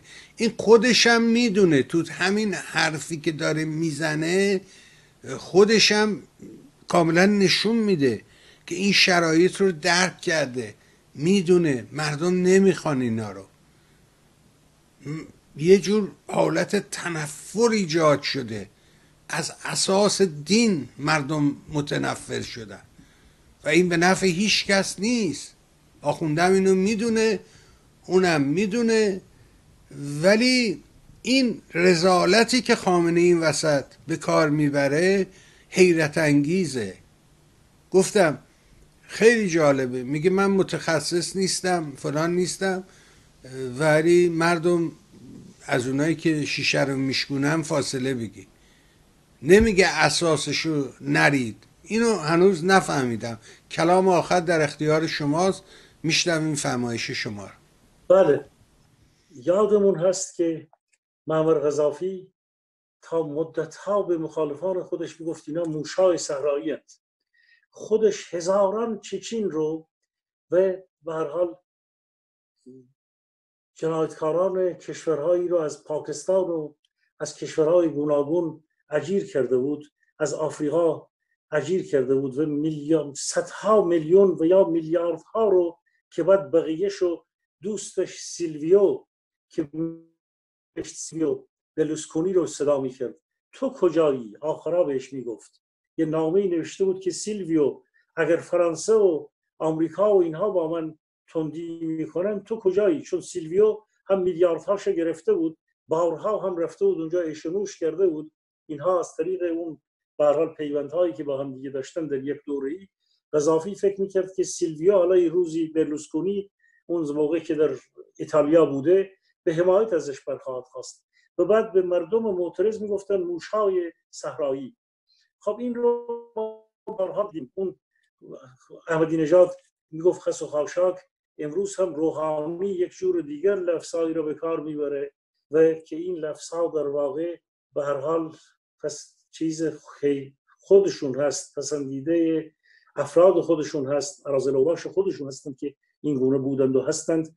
و اما اینکه با این اشد شکل خشونت امروز خامنه ای وارد این سرکوب شده این نشان از استیصالش هست و اینکه در واقع نمی‌تونه دیگه یعنی راه دیگری براش نمونده. رژیم توتالیتر آی بهبانی به جایی رسیده که فکر می‌کنه که باید با اشد حالت به هر حال سرکوب بکنه. از اون سو یک چیز دیگر هم باید بنده عرض بکنم. هنوز در بین سیاسیون ایران کسانی هستند اسم نمی‌خوام ببرن. شما اون روز حرف جالبی گفتید. یک کسی اومده بود هی به شما و دبیرا می‌گفت. شما گفتید آقا من پشت من در روشنایی نشستم. شما در تاریکی نشستی داری سنگ پرت می‌کنی. رو اون فرد رو که مشخص بود که چه وظیفه‌ای داره از سوی چه نهادهایی داره شما رو سرکوب می‌کنه می‌خواد بیاد در واقع اخلال ایجاد بکنه در کار شما. سرکوب که به هیچ وجه نمی‌تونن بکنن. شما برای رسانه هستید که کار خودتون دارید می‌کنید کاملا. ولی اینکه او در تاریکی نشسته ای از سیاسیون ایران به نام اپوزیسیون جناب بهوانی. هنوز در تاریکی نشستن و در نمی‌خوان شفاف با مردم ایران باشن. فکر می‌کنن که به هر حال اینجا و اونجا ارتباط در این شرایط با آمریکا بگیرن یا با مقاماتی از خارج بگیرن یا به امید این هستن که دنبال قدرتی هستن. من اینجا صراحتا اعلام می‌کنم. جنبش انقلابی ملی و انقلابی ایران. احتیاج به این در سایه نشستن ها در این در تاریکی نشستن ها به ترامپ متکی شدن ها بازی های دودوزه کردن با جناهای سپاه پاسداران و مثل آقای هوشنگ امیر احمدی ها بقیه رو اسم نبردم چون نمی‌خواستم نزدیک بشم. اسامی رو بگم که امروز شاید وقتش نباشه. ولی کسانی هستند که همواره به ارتباطات خودشون با آمریکا اینکه آمریکا تحریمی در ارتباط با ایران صورت گرفت اینا بحثای جداگانه هست. در جای دیگه باید بررسی بشه. آثار من هیچ وقت مخالف تحریم نبودم. هیچ ربطی هم به این که کسانی در تاریکی بشینند و پیوندهایی رو با آمریکا و امید داشته باشند که آمریکا اونها رو در به عنوان اپوزیسیون در یک نقطه برای رهبری و مدیریت و گذار اونها رو حمایت بکنه. این خیال های خواه این عدم شفافیت ها در جنبش آینده ایران جایی نداره. به اضافه اینکه همیشه یک کسانی مثل اون اسانج در میان اگر در اون موقع بهشتی رو همون موقع در اسناد افشا کردن الان خیلی سریعتر دستهایی که آلوده به به هر حال به این پیوندها و به این ارتباطات هست. شما چند نفر رو مثل اون فخرآور کوچیکاشو گفتید بزرگاشون در تاریخی نشستند دارن کار می‌کنند. کسانی مثل آسانش ها در میان که یک بار تمام این اسناد رو میریزن بیرون با آبروهای بنابراین اون سو هم باید عرض کنم که اتکا باور به جنبش انقلابی مردم ایران زندگی شعاری نیست. تنها نیرویی که می‌تونه لایز، نیروی لایزال ملت ایران هست که قادره این رژیم رو پایین بکشه و تمامی اون کسانی که به نام اپوزیسیون می‌خوان برای این کشور برای این ملت برای منافع ملی کشورشون خدمت بکنن باید کاملا شفاف بدون این اندبازی ها پشت پرده کار کردن ها یک جا با آمریکا یک جا با جناهای از درون رژیم ایران یک جا با سپاه پاسداران یک جا با اصلاح طلبان یک جا با اعتدالی ها از پشت پرده کار کردن ها این کار رو خمینی کرد یزدی کرد. این کار رو بهشتی کرد با هایزر این رو اونها کردن. این مدل مدل خیانت به یک ملت هست.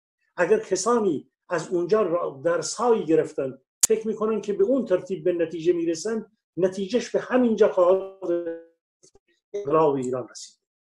شفاف به قول باز هم خیلی ساده به قول سهراب و سپهری ساده باشیم چه در باجه بانک و چه در زیر درخت. امروز جامعه انسانی باید این شفافیت رو اون گونه که سهراب می‌گفت انقلابیون ایران باید با یک کنزنز اخلاقی اگر کنزنز اخلاقی داشته باشن دیگه مثل بعضی ها سری ناامید نمیشن سری به نیروی بیگان رجوع نمی‌کنن. من این قسمت رو ببخشید به اطاله به کلام نکشه. خواستم فقط عرض بکنم که اینجا با یک کنزنز با یک چارچوب اخلاقی مبارزان جنبش و این مبارزه انقلابی رو پیش ببرن. هر فعالیت سیاسی هر Diskurs سیاسی باید متکی به یک Konsens و یک چارچوب اخلاقی باشه.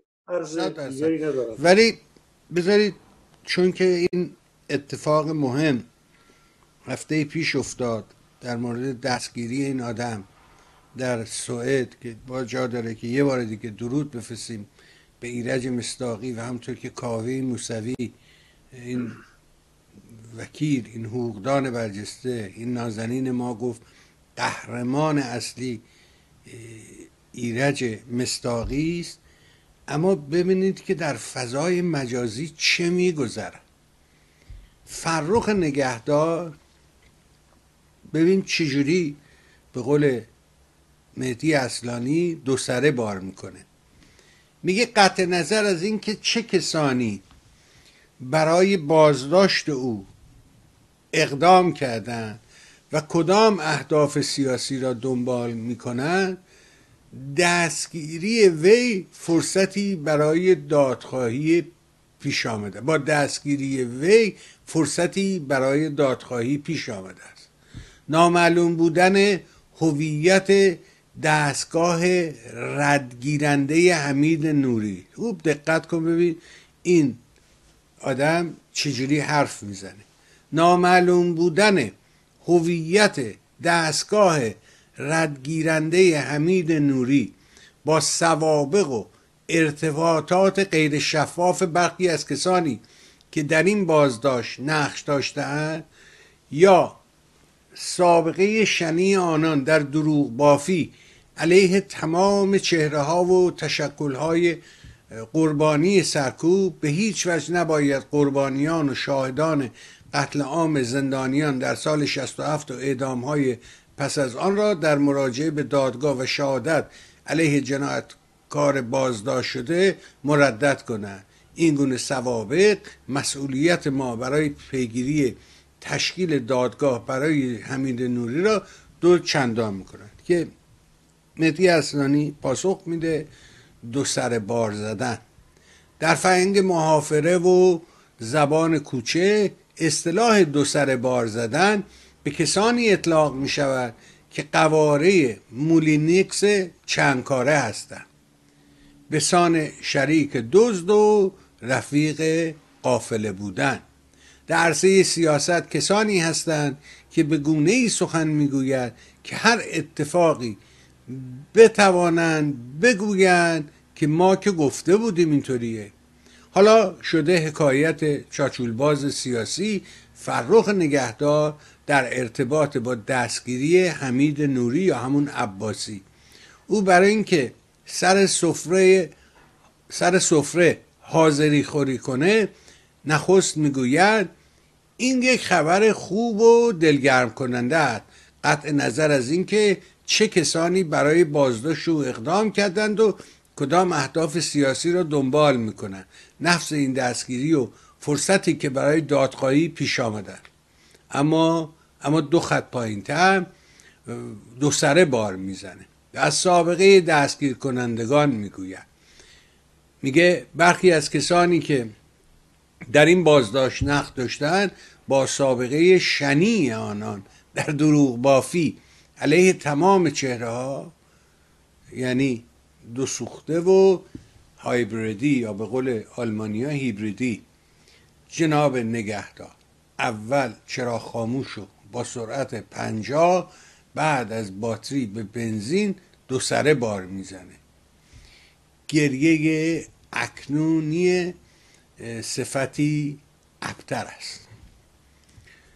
مهاجرانی از نوع سید الله به دست تمامی امنیتکاران نظام ولایی رخ نمود و به فرموده بیت زنجیر پاره کرد. او تلاش می کند یک سیاست ذات سرکوبگر را اخلاق جلوه دهد. نخست برای به سطو آمدگان حوادث اخیر پاپوش میدوزد. سپس به روحانی می‌گوید تو که امنیتی تری رئیس جمهور هستی مبادا وابدی. و به او رهنمون که در تقابل با به سطوح آمدگان حوادث اخیر به سبک بشار اسد عمل کن. سیدت الله نماد پراگماتیزم معطوف به قدرت است. سیاست ورزی که حسرت خار نشستن بر صندلی ارشاد است. عمده تواناییش در بی اخلاقی سیاسیش تعریف می شود بازیگری در بنگاه شادمانی سدلی خامنی اما مهاجرانی مگه چی گفت که مهدی اصلانی اینجوری بهش جواب میده؟ میگه مهاجرانی میگه اپوزیسیون منحوس برانداز برای بار چهارم کوچید کوشید بر موج اعتراض مردمی سوار شود و گاری شکسته بستش را از سوی چاله از سوی چاله چل ساله سرنوشت و رو به زوالش بیرون بکشد. پومپو هم رقصی یا اشاره که بر چی شده؟ پومپو هم رقصی و اشاره که برو هوا تو دارم بولتون هم که نیست. مثل 78 88 و 96 این جمع شلخته چارلنگی مات و مپود خواهد بود. دکتر روحانی بیش از همیشه به شکیبایی از سنخ شکیبایی آشمی رفسنجانی و به متانتی از جنس متانت حاتمی نیاز دارد. امنیتی تری رئیس جمهور که بناست بگوید شرایط کشور عادی نیست. سرود یاد مست سرود یاد مستان دهد. از بشار اسد بیاموزیم که چگونه در بطن بحران ها همیشه با تومعنینه و مسلط سخن می‌گوید. شما نمی‌دونم من قاصر زبانم. میشنوم فرمایش شما را آقای اصلانی. با توجه به اینکه این دستگیری هم شما کمی راجبش صحبت کردید دلم می‌خواد اینجا اگر موضوعی هست هم در ارتباط با فرخ هم در ارتباط با این صدت الله برامون سخن بگیم. بفرم خب اول اینکه به هر حال کم مایه نذاشت آقای مهدی اصلانی دوست عزیز من برای اینا. دوم اینکه ایرش خان مستاقی اگر چند نفر به جرأت اگر پنج الا ده نفر از اونهایی که دارند مثل ایرجان مستاقی. در عرض این ده 15 سال اخیر بیان فقط یک کتابش رو یعنی ادالت خانه رو و ویرانگرانش رو. برن اگر ذره شرف دارن برن همین یک کتاب رو ورق بزنند. ببینن که این شاهکاری که ایرج بستاوی خلق کرده این یکی از آثار در واقع فرهنگی پایدار جامعه ایرانی است. خلق این اثر در حد کتابهایی مثل حیات یحیی بسیار بسیار بالاتر از اون سالی است که مگر کسروی چی گفت که اینطور در تاریخ ماند؟ تاریخ کسروی چی بود؟ برن چهار جلد کتاب ادالت خانه و ویرانگرانش رو بخونن. ببینن که مستاقی چه شاهکاری در اونجا. این مرد با این حافظه این سوپر گیگانت حافظش واقعا. من هیچ دلیلی نداره از ایرج مستاقی بخوام تعریف و بخوام او نه کسی است که نه وزارتی داره نه پولی داره نه فلانی داره. من هم در این سالهای اخیر آثار ایرج مستاقی مجاهد بود در جوانی من فدایی بودم. ما رابطه های ما در همین خارج از کشور دوستی های ما برقرار شد. من از آثار او به شخصیت او پی بردم و بسیاری ها هم موج سنگین اتهام به تمام این دوران روی ایرج مستاقی افتاده بود. ولی او ذره خم به ابرو نیاورد چون این از اعتقادش و از باور ایرج مستاقی است.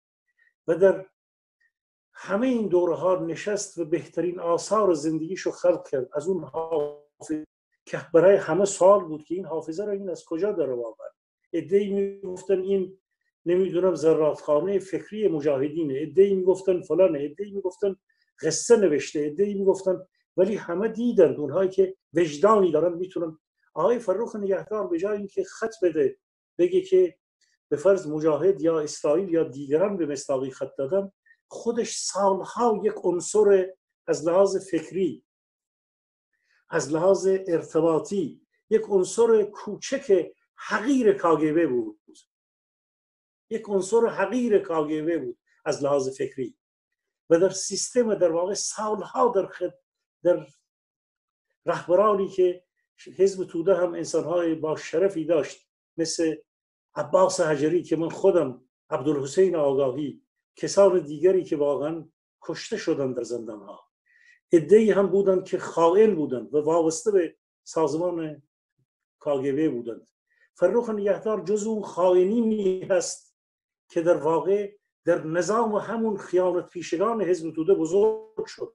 سبوتاش اتهام زدن همکاری با رژیم جمهوری اسلامی کار برای مسائل مالی خودش. مهدی اصلانی و علی اصغر سلیمی این فرد رو خوب می‌شناسند و مردم ایران بسیاری ها از مبارزان ایران شاید بهتر از خود ماها می‌شناسند.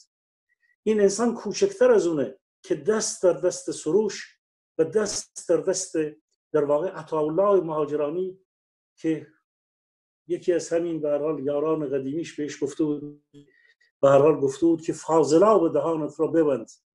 اینها به هر حال عناصر حقیری هستند که اینها نمی‌تونن انسانهای مبارزی مثل ایرج مستاقی رو کوچکترین در واقع چیزی به شخصیت و به این همه حیثیت و این همه مبارزه ای که ایرج مستاقی کرده آسیبی و خللی وارد نمیشه. کار او کاری بسیار بسیار که گرانقدر به کمک آقای کاوه موسوی و این فعالیت فعالیتی است که بر اثر سالها مبارزه و اعتمادی که در واقع نیروهای مختلف به ایرج مستاقی کردند و او همون یک روبی که شما باش داشتید صحبت می‌کردید اون یک روب اول که هر کی باشه میاد باد به قبقب میندازه از خودش تعریف می‌کنه. مستاقی اونجا نشست واقعا عارفانه از مردم گفت از وظیفش گفت از وظیفه شناسیش گفت. یک کاملا همون یک رو اولی خطابه ای که سخنرانی که ایرج مستاقی کرد رو برن گوش بکنن. هر کسی دیگر بود با هزار من سریش ادعا میومد جلو و منم منم می‌کرد. او فروتنانه نشست اونجا گفت این وظیفه ای بود که انجام داد. به هر حال من فکر می‌کنم که مردم ایران قدر دارند مبارزان واقعی خودشون رو و افرادی مثل فرخ نگهدار و کسانی که دوربرش بودند. ولی متاسفانه فضای سیاسی ایران تا مدتی فریب اینها رو خورد و بعضا هم به اصطلاح آثار شوم کسانی هستند که نزدیکان فرخ نگهدار بودند. در لباس دیگری همون به هر حال وظایف پیچیده را دارن پیش می‌برند اسامیشون را اینجا و اونجا دیگران هم گفتند که به موقع به هر حال به اونها هم خواهیم رسید. همونهایی که این چهار سازمان رو سعی کردند که در واقع از جنبش انقلابی ملی ایران دور بکنند و در دوره های مختلف به بحانه های گوناگون در واقع لابیگیری کردند و هنوز هم لابیگیری ها و آسیب هایی که به جنبش دارن می‌زنن پایان پیدا نکرده اونها همون هم پیمانان فرخ و نگهدار هستند که به اشکال پیچیده ای در حزب چپ نفوذ کردند. حزب چپ رو هنوز به گونه ای می‌خوان به کسانی هستند در حزب چپ که شرف دارند ولی در اصل همین شیادان هستند. و متاسفانه گروه کوچکی از جبهه ملی سازمان های جبهه ملی رو چند نفری رو هم به طرف خودشون بردند و در یک اجتماعی همین فروخ و نگهدارها و یاران و همپالیکه های اینها این فضا رو از اون ور هم توپ رو پاس میدن که عطاالله ماجرانی شخصی که با هزار ماجرا آلوده هست یا اون فردی که در آمریکا هست که در وزارت کارهای سیاست خارجی و دیپلماسی اینا حسین موسویان که یک زمانی سفیر اونها در آلمان بوده در زمانی که اون قطعا در آلمان صورت گرفته. اینها در واقع سروش مثلث یا مربع سروش حسین موسویان عطاالله مهاجرانی فرخ نگهدار اینها همه سر و ته یک کرباسن که آلوده کردن سالها جنبش رو و همچنان هم از طریق نفوذهای خودشون کوشش می‌کنن که این اغتشاش رو در جنبش در Diskurs انقلابی مردم ایران ایجاد کنن. ولی مردم ایرج مصداقی رو می‌شناسن جناب